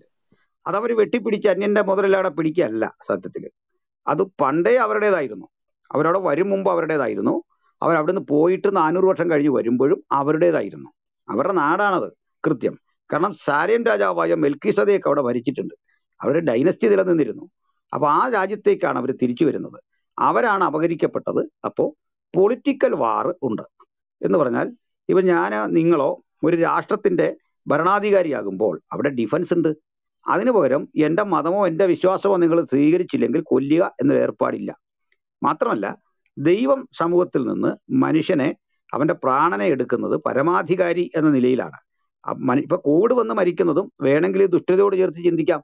പക്ഷെ അത് ദുഷ്ടതയല്ല. കൊച്ചുകുട്ടി മരിക്കുന്നു. മുതിർന്നവർ മരിക്കുന്നു നിഷ്കളങ്കർ മരിക്കുന്നു. കാരണം ഒരു സേട്ടം പീപ്പിൾസ് എപ്പോഴും ഭൂമിയിൽ നിന്ന് മാറിക്കൊണ്ടിരിക്കും പ്രായവ്യത്യാസമില്ലാതെ. അത് എപ്പോഴും സംഭവിക്കുന്നുണ്ട്. ഈ പുതു നിയമകാലത്ത് സംഭവിക്കുന്നുണ്ട്. എന്നാൽ പുതുനിയമത്തിന്റെ ഈ സൗന്ദര്യം എന്ന് പറയുന്നത് അത് യൂണിവേഴ്സലായ ഒരു പ്രിൻസിപ്പിളാണ് വെച്ചത്. എന്റെ രാജ്യം ഐഹികമല്ല. അപ്പൊ അങ്ങനെയുള്ളൊരു വിശാലത മുമ്പോട്ട് വെച്ചപ്പോൾ ആദ്യത്തെ നമുക്ക് കട്ടിയായിട്ട് തോന്നുന്നതാണ്. അപ്പൊ ചില ആളുകൾ ബോധപൂർവം അള്ളാഹുവിനെ യാഹുവെ എല്ലാം ഒരുമിച്ചാക്കിക്കൊണ്ട് ചർച്ച ചെയ്യാറുണ്ട്. പക്ഷെ അവിടെയെങ്ങും നീ മതം സ്വീകരിക്കാത്തവരെ തിരിഞ്ഞും മറിഞ്ഞും വെട്ടുക കൊല്ലുക ഇതൊന്നുമില്ല. മറിച്ച് പൊളിറ്റിക്കൽ വാർ ആ പൊളിറ്റിക്കൽ വാർ എന്ന് പറയുന്നത് അവരുടെ രാഷ്ട്രത്തിലേക്കുള്ള അവരുടെ യാത്രാമധ്യേ സംഭവിക്കുന്ന വിഘാതങ്ങളെ മാറ്റുന്നുണ്ട്. ഇനി അവിടെ കൊച്ചുകുട്ടികളടക്കമുള്ള സ്ത്രീകളടക്കമുള്ള ചിലരെ നശിപ്പിച്ച് കളയുന്നുണ്ട്. അതിന്റെ കാരണം ഫെർട്ടിലിറ്റി കൾട്ടാണ് ഊർവരതാ പൂജ എന്ന് പറയും. അങ്ങനെയൊക്കെയുള്ള അതൊക്കെ ഒന്ന് എക്സ്പ്ലെയിൻ ചെയ്യാൻ പോലും കഴിയാത്ത അശ്ലീലം. ദൈവീദേവ സങ്കല്പങ്ങളോട് ബന്ധപ്പെട്ട് അവരുടെ ആരാധനാ രീതികളൊക്കെ ഒരു പൊതുജന സമക്ഷം പറയാൻ പറ്റില്ല. അത്തരത്തിലുള്ള കൾട്ടുകൾ ഉന്മൂലനം ചെയ്യപ്പെടുന്നുണ്ട്. പുതു നിയമത്തിൽ അതൊന്നും ഇല്ലാത്തതിന്റെ കാരണം നമുക്ക് രാഷ്ട്രമില്ല. നമ്മൾ ഒരു രാഷ്ട്രത്തിന്റെ വക്താക്കളുമല്ല. ക്രിസ്തീയ രാഷ്ട്രം എന്നത് പ്രസക്തമായ ഒരു കാര്യവുമല്ല. അപ്പോൾ ഒറ്റവാക്കിൽ ഇങ്ങനെ പറഞ്ഞു നിർത്തുന്നു. നമുക്ക് ക്രൈസ്തവരെ സംബന്ധിച്ചിടത്തോളം ഇങ്ങനെ ഒരു ബിലീഫ് ഇല്ല. അതായത് നമ്മൾ ഒരു രാഷ്ട്രത്തിന്റെ ഭരണാധികാരിയായിട്ട് ഇതര മതസ്ഥരെ കൊല്ലുക നശിപ്പിക്കുക എന്നൊന്നില്ല. അതുകൊണ്ടാണ് ലോകത്ത് ക്രൈസ്തവരുള്ള ഇടങ്ങളിലെല്ലാം തന്നെ എല്ലാവർക്കും സ്വാതന്ത്ര്യം ഉണ്ടായി അവിടെ മറ്റു മതങ്ങൾക്ക് സ്വാതന്ത്ര്യമുണ്ടായി. നിരീശ്വരവാദം പോലും അവിടെ വളർന്നു. ശാസ്ത്രമൊക്കെ വളർന്നു. എന്നാൽ ഇതര മതങ്ങളുടെ അവസ്ഥ വിശേഷിച്ച് അൻപത്തി മൂന്ന് മുതൽ അമ്പത്തി അഞ്ചോളം ഇസ്ലാമിക സ്റ്റേറ്റിൽ അത് സംഭവിച്ചിട്ടില്ല. അവിടെ മറ്റു മതസ്ഥർ ദിമ്മിറ്റ്യൂഡുകൾ അല്ലെ ദിമ്മീവൽക്കരണം സംഭവിച്ച് വിനീത വിധേയരായി കഴിയേണ്ടി വരുന്നു. അവർ കാലക്രമേണ കൺവേർട്ട് ചെയ്യേണ്ടി വരുന്നു. ക്രിസ്ത്യാനിറ്റത്തിന്റെ കാഴ്ചപ്പാടും ഒക്കെ വിശാലമാണ്. ജൂതന്റെ കാഴ്ചപ്പാടും ഇന്ന് വിശാലമായി കഴിഞ്ഞിട്ടുണ്ട്. അത് ആ ദൈവസമ്പർക്കം അവരെ എങ്ങനെ ആക്കി എന്ന് കൂടി മനസ്സിലാക്കണം. പൊളിറ്റിക്കലി അവർ വാർ നടത്തിയിട്ടുണ്ട്. ആ ആ വാറിന് ശേഷം അവർക്ക് സ്വസ്ഥത കൈവന്ന ശേഷം അവർ വാറിനൊന്നും പോയിട്ടില്ല. അപ്പോൾ ദൈവം അവരുടെ കാര്യാദികൾ ഇടപെട്ടിട്ടുണ്ട് എന്നത് സത്യം തന്നെയാണ്. പക്ഷെ അതൊരിക്കലും അർഹിക്കാനാവാത്തൊരു ക്രൂരത എന്ന് വിശേഷിപ്പിക്കാവുന്ന കാര്യമല്ല. പൊളിറ്റിക്കൽ വാർ മാത്രമാണ്. അത് കൺവേർഷന് വേണ്ടി വാറില്ല. ഓക്കെ നമ്മുടെ ജോർജ് ബ്രദർ മടങ്ങിയെത്തിയിട്ടുണ്ട് ആശീഷും വന്നിട്ടുണ്ട് ആശീറും വന്നിട്ടുണ്ട് സൽമാൻ പറഞ്ഞാട്ടെ. പ്രിൻസ് സാറേ നിങ്ങൾ ഇത് എവിടെ പോയി കിടക്കുന്ന? വന്നാട് ഇവിടെ വിളിച്ച് വിളിച്ച് മടുത്തു പെട്ടെന്ന് വാ.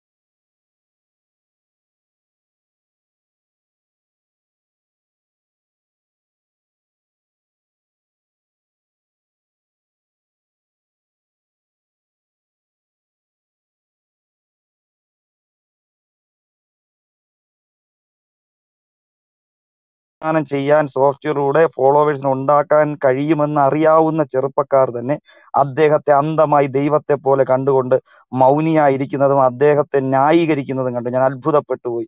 അപ്പോൾ വളരെ ഈ ടോപ്പിക് റിലവന്റ് ആണ്. കാരണം അധർമ്മം പ്രവർത്തിക്കുന്നവരെ അവർ അതിൽ തന്നെ തുടരുന്നു എന്നുള്ളത് വാസ്തവം തന്നെയാണ്. അവർക്ക് സത്യത്തിലേക്ക് വരാൻ കഴിയുന്നില്ല. അതോടൊപ്പം തന്നെ അവർ അദ്ദേഹത്തോട് പലരും പറഞ്ഞു നിങ്ങൾ പോയിട്ട് ഒന്ന് അവരോട് സംസാരിക്കണം.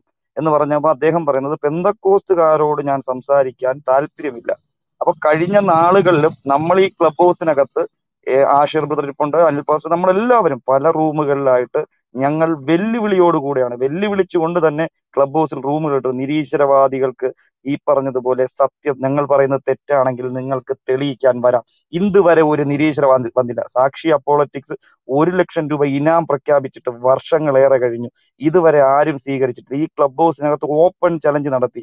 ഇതുവരെ ഒറ്റ നിരീശ്വരവാദി വന്നില്ല. അവരെല്ലാം അവരുടെ ക്ലോസ് റൂമിലേക്ക് ചുരുങ്ങി പോകുന്നു ഞാൻ ഈ ക്ലബ് ഹൗസിന്റെ തുടക്ക സമയത്ത് ഉണ്ടായിരുന്ന വ്യക്തി എന്നുള്ള നിലയ്ക്ക് ഞാൻ പറയാം. പല റൂമുകൾക്കകത്ത് കടന്നു കയറ്റം ഉണ്ടായിരുന്നു നിരീശ്വരവാദികളുടെ ഭാഗത്ത് നിന്ന് പക്ഷേ വിശ്വാസികൾ വ്യക്തമായ മറുപടി കൊടുത്തപ്പോൾ അത് മാത്രമല്ല വിശ്വാസികൾ അതിനെ സംബന്ധിച്ച് ആധികാരികമായി പഠിപ്പിക്കുന്ന റൂമുകൾ ഇട്ടപ്പോൾ കേവലം ചെറിയ ക്ലോസ്ഡ് റൂമിലേക്ക് അതായത് ഇരുപത്തിനാല് മണിക്കൂറും ആഴ്ചയിൽ ഏഴ് ദിവസവും പ്രവർത്തിച്ച സഹോദരങ്ങൾ ഇന്ന് വെറും പത്തും പന്ത്രണ്ടും പേരായിട്ടിരിക്കുന്ന കണ്ട് ഇന്നലെ ഏകദേശം ആയിരത്തി അഞ്ഞൂറും രണ്ടായിരം പേരൊക്കെ ഉണ്ടായിരുന്ന അവരുടെ ചർച്ചകൾ നാൽപ്പതും അൻപതും പേരായിട്ട് ചുരുങ്ങി. അതിൽ അവർക്കുള്ള ഫോളോവേഴ്സ് ഏഴായിരം എണ്ണായിരം പതിനായിരം ഫോളോവേഴ്സ് ഒക്കെ ഉള്ള മോഡറേറ്റേഴ്സിന്റെ ഗണങ്ങൾ ഒത്തിരി അനവധിയുള്ള റൂമിനകത്താണ് മുപ്പതും നാൽപ്പതും എഴുപതുമായി ചുരുങ്ങുന്നത്.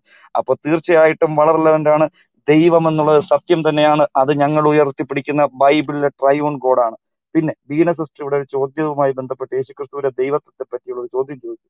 യോഹന അഞ്ചിന്റെ പതിനെട്ടിൽ ഇങ്ങനെ പറയുന്നു. അങ്ങനെ അവൻ ശബത്ത് ലംഘിച്ചത് കൊണ്ട് മാത്രമല്ല ദൈവം സ്വന്തം പിതാവെന്ന് പറഞ്ഞ് തന്നെത്താൻ ദൈവത്തോട് സമമാക്കിയത് കൊണ്ടും യഹൂദന്മാർ അവനെ കൊല്ലുവാൻ അധികമായി ശ്രമിച്ചു. അതോടൊപ്പം ചേർന്ന് മത്തായി യോഹനൻ പത്തൊമ്പതിന്റെ ഏഴ് യഹൂദന്മാർ അവനോട് ഞങ്ങൾക്കൊരു ന്യായപ്രമാണം ഉണ്ട്. അവൻ തന്നെത്താൻ ദൈവപുത്രൻ ആക്കിയത് കൊണ്ട് ആ ന്യായപ്രമാണ പ്രകാരം അവൻ മരിക്കേണ്ടതാകുന്നുവെന്ന് ഉത്തരം പറഞ്ഞു. ഈ രണ്ട് വചനപ്രകാരവും യേശുക്രിസ്തു ദൈവ ദൈവത്തിന്റെ മകനാണ് എന്ന് പറഞ്ഞ് സ്വന്തം പിതാവാണ് യഹോവ എന്ന് പറയുന്നതിലൂടെ അദ്ദേഹം ദൈവത്തിന്റെ പുത്രനാണെന്ന് സ്റ്റേറ്റ് ചെയ്തത് കൊണ്ടാണ് അദ്ദേഹത്തെ ഒന്നാമതായി അവർ ഈ പറഞ്ഞതുപോലെ ശിക്ഷിക്കാൻ ക്രൂശിക്കാൻ പിടിക്കുന്നത്. അതോടൊപ്പം തന്നെ ചേർത്ത് ഞാൻ വേറൊരു വാക്യം വായിക്കുന്നു. മാർക്കോസ് പതിനഞ്ചിന്റെ മുപ്പത്തൊമ്പത്. അവനെതിരെ നിന്നിരുന്ന ശതാധിപൻ അവനിങ്ങനെ പ്രാണനെ വിട്ടത് കണ്ടിട്ട് ഈ മനുഷ്യൻ ദൈവപുത്രനായിരുന്നു സത്യം എന്ന് പറഞ്ഞു. പ്രൈസലോട്ട് നമ്മളെ പല സുവിശേഷ ഭാഗങ്ങൾ നമുക്കത് കാണാൻ സാധിക്കും. ആ ക്രൂശീകരണ വേളയിൽ ആ ദൈവത്തിന്റെ പുത്രനാണെന്ന് ഡിക്ലെയർ ചെയ്യുകയാണ് കൂടെ നിൽക്കുന്നവർ. ഇന്ന് ഈ റൂമിനകത്തും അങ്ങനെ ഒരു ഡിക്ലറേഷൻ ആണ് ഇവിടെ നടന്നത്. തീർച്ചയായിട്ടും ദൈവം സത്യം തന്നെയാണ്. നമ്മുടെ എല്ലാവരുടെയും ജീവിതത്തെ രൂപാന്തരം വരുത്താൻ കഴിയുന്ന ഒരു ദൈവത്തെയാ പറയുന്നത്. കേവലം മിഥ്യാമൂർത്തികളോ അല്ലെങ്കിൽ കേവലം കല്ലിലോ മണ്ണിലോ ഇരിക്കുന്ന അന്ധമായി വിശ്വസിക്കാൻ അല്ലെങ്കിൽ അന്ധമായ രീതിയിൽ ആരാധന അനുവർത്തിക്കുന്ന ഒരു മൂർത്തിയോ അല്ല ഞങ്ങളുടെ ദൈവം. ഹൃദയങ്ങളെ മാറ്റുവാൻ കഴിയുന്ന രൂപാന്തരം വരുത്തുവാൻ കഴിയുന്ന ഹൃദയത്തിനകത്ത് പരിവർത്തനം വരുത്തുവാൻ കഴിയുന്ന സയൻസ് പറയുന്നവരുടെ ഭാഷയിൽ പറഞ്ഞാൽ ഇവല്യൂഷൻ വരുത്താൻ കഴിയുന്ന കുരങ്ങിനെ പോലെ മൃഗതുല്യമായ ജീവിതം നയിച്ച അവസ്ഥയിൽ നിന്ന് നരനിലേക്കുള്ള ട്രാൻസ്ഫർമേഷൻ. നമുക്കറിയാം ഒന്നാമത്തെ ആദാമിനെയും ഒടുക്കത്തെ ആദാമിനെയും സംബന്ധിച്ച് ഒടുക്കത്തെ ആദാമാകുന്ന നരൻ ആ നരനാകുന്ന ആ ഒരു ദൈ മനുഷ്യപുത്രനാകുന്ന യേശു ക്രിസ്തുവിന്റെ തലയോളമുള്ള വളർച്ച ആ ഒരു എവല്യൂഷനാണ് ഒരു ക്രിസ്തീയ ജീവിതം എന്ന് പറയുന്നത്. ആ ഒരു എവല്യൂഷനിലേക്ക് കടന്നുകൊണ്ടിരിക്കുന്ന ഓരോ വ്യക്തികളാണ് നാം ഓരോരുത്തരും. അതെ നമ്മളെല്ലാം ഇവോൾവ് ആയിക്കൊണ്ടിരിക്കുകയാണ്. ഈ ഇവല്യൂഷൻ അപ്പുറം മറ്റൊരു പ്രത്യാശ നമുക്കുണ്ട്. രൂപാന്തരം ഒരു ട്രാൻസ്ഫർമേഷൻ നടക്കും എന്നുള്ള യാഥാർത്ഥ്യം. അതിലേക്ക് വേണ്ടിയാണ് ഞങ്ങൾ കാത്തിരിക്കുന്നത്. ഞങ്ങൾ ഈ ക്ലബ് ഹൗസിൽ പറഞ്ഞ സുവിശേഷം കൊണ്ട് ആരുടെയും ജീവിതത്തിൽ നഷ്ടം സംഭവിച്ചിട്ടില്ല. ഞാൻ മനസ്സിലാക്കുന്നു ഹൃദയ തകർച്ചയോടെ വന്ന ഒട്ടനവധി പേർക്ക് ഒരുപാട് മറുപടികൾ കിട്ടിയ പ്രോഗ്രാം ആയിരുന്നു ഞങ്ങളുടെ റൂമുകൾക്കകത്ത് വന്നത്. പിന്മാറ്റത്തിലായിരുന്ന പലരെയും ഞങ്ങൾക്ക് യഥാസ്ഥാനപ്പെടുത്താൻ കഴിഞ്ഞിട്ടുണ്ട്. ഇന്നത്തെ ഈ ചർച്ചയും അതിന് തെളിവ് തന്നെയാണ്. ഹൃദയ തകർച്ചയോടെ വന്ന പലർക്കും ഹൃദയത്തിന് ഒരു ആശ്വാസം കിട്ടിയിട്ടുണ്ട്. പിന്മാറ്റത്തിൽ വന്ന പലരുടെയും ഹൃദയത്തിനകത്ത് ദൈവം ഇടപെട്ടു എന്നുള്ള യാഥാർത്ഥ്യം തന്നെയാണ്. ഞങ്ങൾ ഇനിയും പറയും ഈ ദൈവം സത്യം തന്നെ ഈ ദൈവം വിദ്യ വിദ്യയല്ല നിങ്ങൾക്ക് ആർക്കെങ്കിലും ഏതെങ്കിലും നിരീക്ഷണവാദി ഞങ്ങളെ കേൾക്കുന്നുണ്ടെങ്കിൽ നിങ്ങൾക്കത് അങ്ങനെയല്ല ദൈവം സത്യമല്ലെന്ന് തെളിയിക്കാൻ കഴിയുമെങ്കിൽ നിങ്ങൾക്ക് വരാം. ഞങ്ങൾ വെല്ലുവിളിയോടുകൂടെയാണ് നിങ്ങളെ സ്വീകരിക്കുന്നത്. നമുക്ക് അതിന് വേണ്ടി ഒരു ഡിബേറ്റ് വെക്കാം. നിങ്ങൾക്ക് ആർക്കെങ്കിലും കഴിയുമെങ്കിൽ നിങ്ങൾ ക്ലോസ് റൂമിനകത്ത് നിങ്ങളുടെ സോഷ്യൽ റൂമിനകത്തും നിങ്ങളുടേതായ ചുറ്റുപാടിനകത്തിരുന്നുകൊണ്ട് നിങ്ങൾ വെല്ലുവിളിക്കുമ്പോൾ ഞങ്ങൾ നിങ്ങളെ വെല്ലുവിളിക്കുന്നു ഞങ്ങൾ പബ്ലിക്കായി വെല്ലുവിളിക്കുന്നു. ഏതെങ്കിലും നിരീശ്വരവാദി ഞങ്ങളെ കേൾക്കുന്നുണ്ടെങ്കിൽ നിങ്ങൾക്ക് കടന്നു വരാം. സത്യം ജയിക്കും. സത്യത്തെ ആർക്കും തടഞ്ഞു വെക്കാനോ മൂടി വെക്കാനോ കഴിയില്ല എന്നുള്ളതും ഒരു യാഥാർത്ഥ്യമാണ്. എന്തായാലും ഈ ചർച്ചകൾ മുഖാന്തരം കൂടുതൽ ദൈവത്തിലേക്ക് അടുക്കുവാൻ സഹായിക്കട്ടെ. ഞങ്ങൾ പറയുന്ന ഇത്രയേ ഉള്ളൂ. മറ്റൊരുത്തരിന്റെ രക്ഷയില്ല. ആകാശത്തിന്റെ കീഴെ ഭൂമിക്ക് മീതെ നൽകപ്പെട്ട ഏകനാമം അത് നസ്രായനായ യേശുവിന്റെ നാമം. ആ നാമപ്രകാരം ഹൃദയത്തിൽ യേശു ക്രിസ്തുവിനെ രക്ഷിതാവായി സ്വീകരിച്ച് വായി കൊണ്ട് ഏറ്റുപറയുന്ന ഒരുവന് നിത്യരക്ഷ ലഭിക്കുമെന്നും ആ രക്ഷയിലൂടെ ധ്യാനത്തിലൂടെ അവന്റെ ഹൃദയത്തിനകത്ത് പരിശുദ്ധാത്മാവ് വരുമെന്നും അവന്റെ രൂപാ അവന്റെ ജീവിതം രൂപാന്തരപ്പെട്ട് അവന് എവല്യൂഷൻ സംഭവിക്കുമെന്നും തന്നെയാണ് ഞങ്ങൾ പറയുന്നത്. ആ ഒരു എവല്യൂഷൻ നിങ്ങൾ ആഗ്രഹിക്കുന്നെങ്കിൽ സയൻസ് ഇഷ്ടപ്പെടുന്നവരെ എവല്യൂഷൻ പ്രകൃതിയിലെ സ്വാഭാവികമായ എവല്യൂഷൻ ഉണ്ടായി എന്ന് വിശ്വസിക്കുന്നവരെ നിങ്ങൾക്ക് ഹൃദയത്തിനകത്ത് ഒരു എവല്യൂഷൻ ആഗ്രഹിക്കുന്നുണ്ടോ? ഒരു രൂപാന്തരം ഒരു ട്രാൻസ് ട്രാൻസ്ഫർമേഷൻ ആഗ്രഹിക്കുന്നുണ്ടോ? നിങ്ങൾക്ക് ക്രിസ്തുവിലേക്ക് കടന്നു വരാൻ. അവൻ ജീവിതത്തിൽ നന്മയല്ലാതെ ഒന്നും ചെയ്തിട്ടില്ല. നിങ്ങളുടെ ആരുടെയും ജീവിതത്തിൽ നന്മയല്ലാതെ എന്റെ കർത്താവ് ഒന്നും ചെയ്യില്ല. ആ കർത്താവിലേക്ക് നിങ്ങൾ എല്ലാവരെയും സാധനം ക്ഷണിച്ചുകൊള്ളുന്നു. ദൈവം എല്ലാവരും ധാരാളമായി okay thank you Salman sir എന്തെങ്കിലും പറയാനാണോ? ബ്ലിങ്ക് ജസ്റ്റ് ഒന്ന് ഇവിടെ ഒരു ചോദ്യം വന്നായിരുന്നു. ആ ചോദ്യത്തിന് ഒരു ഒരു ചെറിയ എക്സ്പ്ലനേഷൻ കൊടുത്തിട്ട് നമുക്ക് ഗ്രൂപ്പ് നിർ നിർത്തി നിർത്തുമായിരിക്കും നല്ലതല്ലേ? അതെ. ഓക്കെ അത് ഞാൻ എക്സ്പ്ലനേഷൻ മാത്രം. അപ്പം അദ്ദേഹം ചോദിച്ചത് പഴയ നിയമത്തിലെ ദൈവം എന്തുകൊണ്ട് ഇങ്ങനെ ഇങ്ങനെയുള്ള കാര്യങ്ങൾ ക്രൂരമായ കാര്യങ്ങൾ ചെയ്തു എന്നാണ് അദ്ദേഹത്തിന്റെ ഒരു ചോദ്യം എന്ന് പറയുന്നത്. അതിനകത്ത് അപ്പം ഞാൻ പെട്ടെന്ന് ഒറ്റ ഒരൊറ്റ മറുപടി മാത്രം പറഞ്ഞിട്ട് പോവുകയാണ്. ഇപ്പൊ കനാൻ ദേശം ആക്രമിക്കുന്നതുമായി ബന്ധപ്പെട്ട് ഒരു ചോദ്യം വരാറുണ്ട്. കനാൻ ദേശത്തെ എന്തുകൊണ്ട് ഇവർ ആക്രമിച്ചു? അതിന് ലേവ്യ പുസ്തകം പതിനെട്ടാമത്തെ അധ്യായത്തിൽ മൂന്നാമത്തെ വാക്യവും ഇരുപത്തി ആറാമത്തെ വാക്യവും വായിച്ചിട്ട് അതിന്റെ ഇടയിൽ നടക്കുന്ന സംഭവങ്ങളൊന്ന് വായിക്കണം. നിങ്ങൾ പാർത്തിരുന്ന മിശ്രയും ദേശത്തിലും നടപ്പ് പോലെ നിങ്ങൾ നടക്കരുത്. ഞാൻ നിങ്ങളെ കൊണ്ടുപോകുന്ന കനാൻ ദേശത്തിലെ നടപ്പ് പോലെയും അരുത്. അവരുടെ മര്യാദ ആചരിക്കരുത്. ഇനി ഇരുപത്താറാമത്തെ വാക്യം. ഈ മ്ലേച്ഛത ഒക്കെയും നിങ്ങൾക്ക് മുമ്പേ ആ ദേശത്തുണ്ടായിരുന്ന മനുഷ്യർ ചെയ്തു. ദേശം അശുദ്ധമായി തീർന്നു എന്തൊക്കെയാണ് അവർ ചെയ്ത മ്ലേച്ഛത? അത് അവിടെ കൃത്യമായിട്ട് എഴുതി വെച്ചിട്ടുണ്ട്. എന്തൊക്കെയാണ്? ഞാൻ ജസ്റ്റ് ഒന്ന് ഓടിച്ചു വായിക്കാം. കേട്ടോ? ആറാമത്തെ വാക്യം. നിങ്ങളിൽ ആരും തനിക്ക് രക്തസംബന്ധമുള്ള ഈ ഇത്രയും ഈ പറയുന്ന ഭാഗങ്ങൾ പറഞ്ഞിട്ടാണ് ദൈവം ഇത് പറയുന്നത്. ആ നടപ്പ് പോലെ നടക്കരുത്. നിങ്ങളിൽ ആർക്കും തനിക്ക് രക്തബന്ധമുള്ള സംബന്ധമുള്ള യാതൊരുത്തിന്റെയും നഗ്നത അനാവൃതമാക്കുവാൻ തക്കവണ്ണം അവർ അവരോട് അടുക്കരുത്. ഏഴാമത്തെ വാക്യം. നിന്റെ അപ്പന്റെ നഗ്നതയും അമ്മയുടെ നഗ്നതയും അനാവൃതമാക്കരുത്. എന്ന് പറഞ്ഞാൽ സിമ്പിളായിട്ട് പറഞ്ഞാൽ അപ്പനുമായിട്ട് ആ അവിടുത്തെ കനാനുകാർ സെക്സ് സെക്സ് മറ്റ് റിലേഷൻഷിപ്പിലായിരുന്നു അമ്മയുമായിട്ട് റിലേഷൻഷിപ്പ് അവൾ നിന്റെ അമ്മയാകുന്നു. അവളുടെ നഗ്നത നീ അനാവൃതമാക്കരുത്. അപ്പന്റെ ഭാര്യയുടെ നഗ്നത അനാവൃതമാക്കരുത്. സ്റ്റെപ്പ് മദറിന്റെ രണ്ടാമത്തെ രണ്ടാനമ്മയുടെ ഭാ ആയിട്ട് റിലേഷൻഷിപ്പ് അപ്പന്റെ മകളോ അമ്മയുടെ മകളോ ആയ നിന്റെ സഹോദരിയുടെ നഗ്ന അനാവൃതമാക്കരുത്. ഞാൻ അവിടെ നിർത്തുകയാണ്. നിങ്ങൾ അങ്ങനെ താഴത്തോട്ടും താഴത്തോട്ടും വായിച്ചു നോക്കി നോക്കുക ഇത്രയും പാപം ചെയ്യുന്ന ഒരു ദേശത്തോടാണ് ദൈവത്തിന്റെ ഇടപെടൽ ഉണ്ടായത് അത് കൃത്യമായിട്ട് പറയുന്നുണ്ട്. നിങ്ങ അവരുടെ ദുഷ്ടത നിമിത്തമാണ് മറ്റൊരു ഭാഗത്ത്. പറയുന്നുണ്ട്. അവരുടെ ദുഷ്ടത നിമിത്തമാണ് ഞാൻ ആ ദേശത്തെ സന്ദർശിക്കുന്നത്. ഇതേ സ്ഥലത്തേക്ക് അബ്രഹാമിനെ ദൈവം അയക്കുന്നുണ്ട്. ഇസഹാക്കിനെ ദൈവം അയക്കുന്നുണ്ട്. അന്ന് ഈ പറയുന്ന യുദ്ധങ്ങളോ ഒന്നും അവിടെ സംഭവിച്ചിട്ടില്ല. അപ്പോൾ ഇവരോടുള്ള ഈ പ്രബോധനത്തിന് വേണ്ടിയും ഇങ്ങനെയുള്ള കാര്യങ്ങൾക്ക് വേണ്ടി ഇവരെല്ലാം അയച്ച് ഈ ഈ പറയുന്ന കാര്യങ്ങളൊന്നും നിവൃത്തിയാകാതിരുന്ന് ഒരു ഇത്രയും മ്ലേച്ഛമായ കാര്യങ്ങൾ സംഭവിക്കുമ്പോഴാണ് ഈ ദൈവത്തിന്റെ ഇടപെടൽ ഉണ്ടായത്. അപ്പം അത് പുതിയ നിയമത്തിലും ബാധകമാണ്. പുതിയ നിയമത്തിൽ വളരെ കൃത്യമായിട്ട് ലൂക്കോസിന്റെ സുവിശേഷത്തിൽ പറയുന്നുണ്ട് നിന്റെ സന്ദർശനകാലം അറിയാത്തത് കൊണ്ട് നിന്നെയും നിന്റെ മക്കളെയും കല്ലിന്മേൽ കല്ല് ശേഷിപ്പിക്കാതെ വണ്ണം വരുന്നുണ്ടെന്ന് പറഞ്ഞ് യേശുക്രിസ്തു എ ഡി എഴുപതിൽ അത് വളരെ കൃത്യമായിട്ട് ആ ന്യായവിധി വെളിപ്പെടുത്തിയിട്ടുണ്ട്. അപ്പോൾ പുതിയ നിയമത്തിലും പാപം ചെയ്യുന്ന സമയത്ത് ദൈവത്തിന്റെ ഇടപെടൽ ഉണ്ടായിട്ടുണ്ട്. അത് പഴയ നിയമത്തിൽ ഉണ്ടായിട്ടുണ്ട്. അതിനകത്ത് യഹോവയ്ക്ക് ഒരു വ്യത്യാസവും വന്നിട്ടില്ല. അല്ലാതെ നമ്മൾ ആ രീതിയിൽ മാത്രമേ അതിനെ കാണാവൂ. Thank you. ഇനി George pastor okay thank you thank you Salman pastor അതുപോലെ അഷർ പ്രിൻസ്. നാളത്തെ ഒരു പ്രോഗ്രാം ഉണ്ട് അതൊന്ന് ഞാൻ അനൗൺസ് ചെയ്യാണ്. നമ്മുടെ ഗ്രേസൽസ് എന്ന ഗ്രൂപ്പിൽ എട്ട് മണിക്ക് ശാസ്ത്രം നിരീശ്വരവാദികളുടെ കുത്തുകയോ അതോ ബൈബിളിന്റെ സംഭാവനയോ എന്ന വിഷയത്തെ ആസ്പദമാക്കി നാളെ ചർച്ച ഉണ്ടായിരിക്കും. അതിൽ സാക്ഷി അപ്പോളജറ്റിക്സിന്റെ ഡയറക്ടർ ജെറി തോമസ് അതുപോലെ മറ്റു സഹോദരങ്ങളും വിഷയങ്ങൾ അവതരിപ്പിക്കും. നിങ്ങൾ നിങ്ങളുടെ സുഹൃത്തുക്കളെയും അതുപോലെ മറ്റു പ്രിയപ്പെട്ടവരൊക്കെ ഇതിലേക്ക് ക്ഷണിക്കാവുന്നതാണ്. ഗ്രേ സെൽസ് എന്ന ഗ്രൂപ്പിൽ എട്ട് മണിക്ക് നാളെ ചർച്ച ഉണ്ടായിരിക്കും ഓക്കെ സഹോദരങ്ങളെ ഇതുവരെ സഹകരിച്ച എല്ലാ പ്രിയപ്പെട്ടവർക്കും നന്ദി അറിയിക്കുകയാണ്. മനുഷ്യൻ യാതൊരുവിധ പ്രയോജനമില്ലാത്ത ഒരു ആശയത്തെക്കാളും ക്രിസ്തുവിലുള്ള പ്രത്യാശയെക്കുറിച്ചുള്ള ചിത്രം ഇവിടെ നന്നായി മനസ്സിലാക്കുവാൻ കഴിഞ്ഞെന്ന് വിശ്വസിക്കുന്നു. കർത്താവായ യേശു ക്രിസ്തുവിന്റെ സമാധാനം നിങ്ങളുടെ ജീവിതത്തിൽ ഉണ്ടാകട്ടെ എന്ന് ആഗ്രഹിക്കുകയും പ്രാർത്ഥിക്കുകയും ചെയ്യുന്നു. സഹകരിച്ച എല്ലാ പ്രിയപ്പെട്ടവർക്കും നന്ദി. God bless you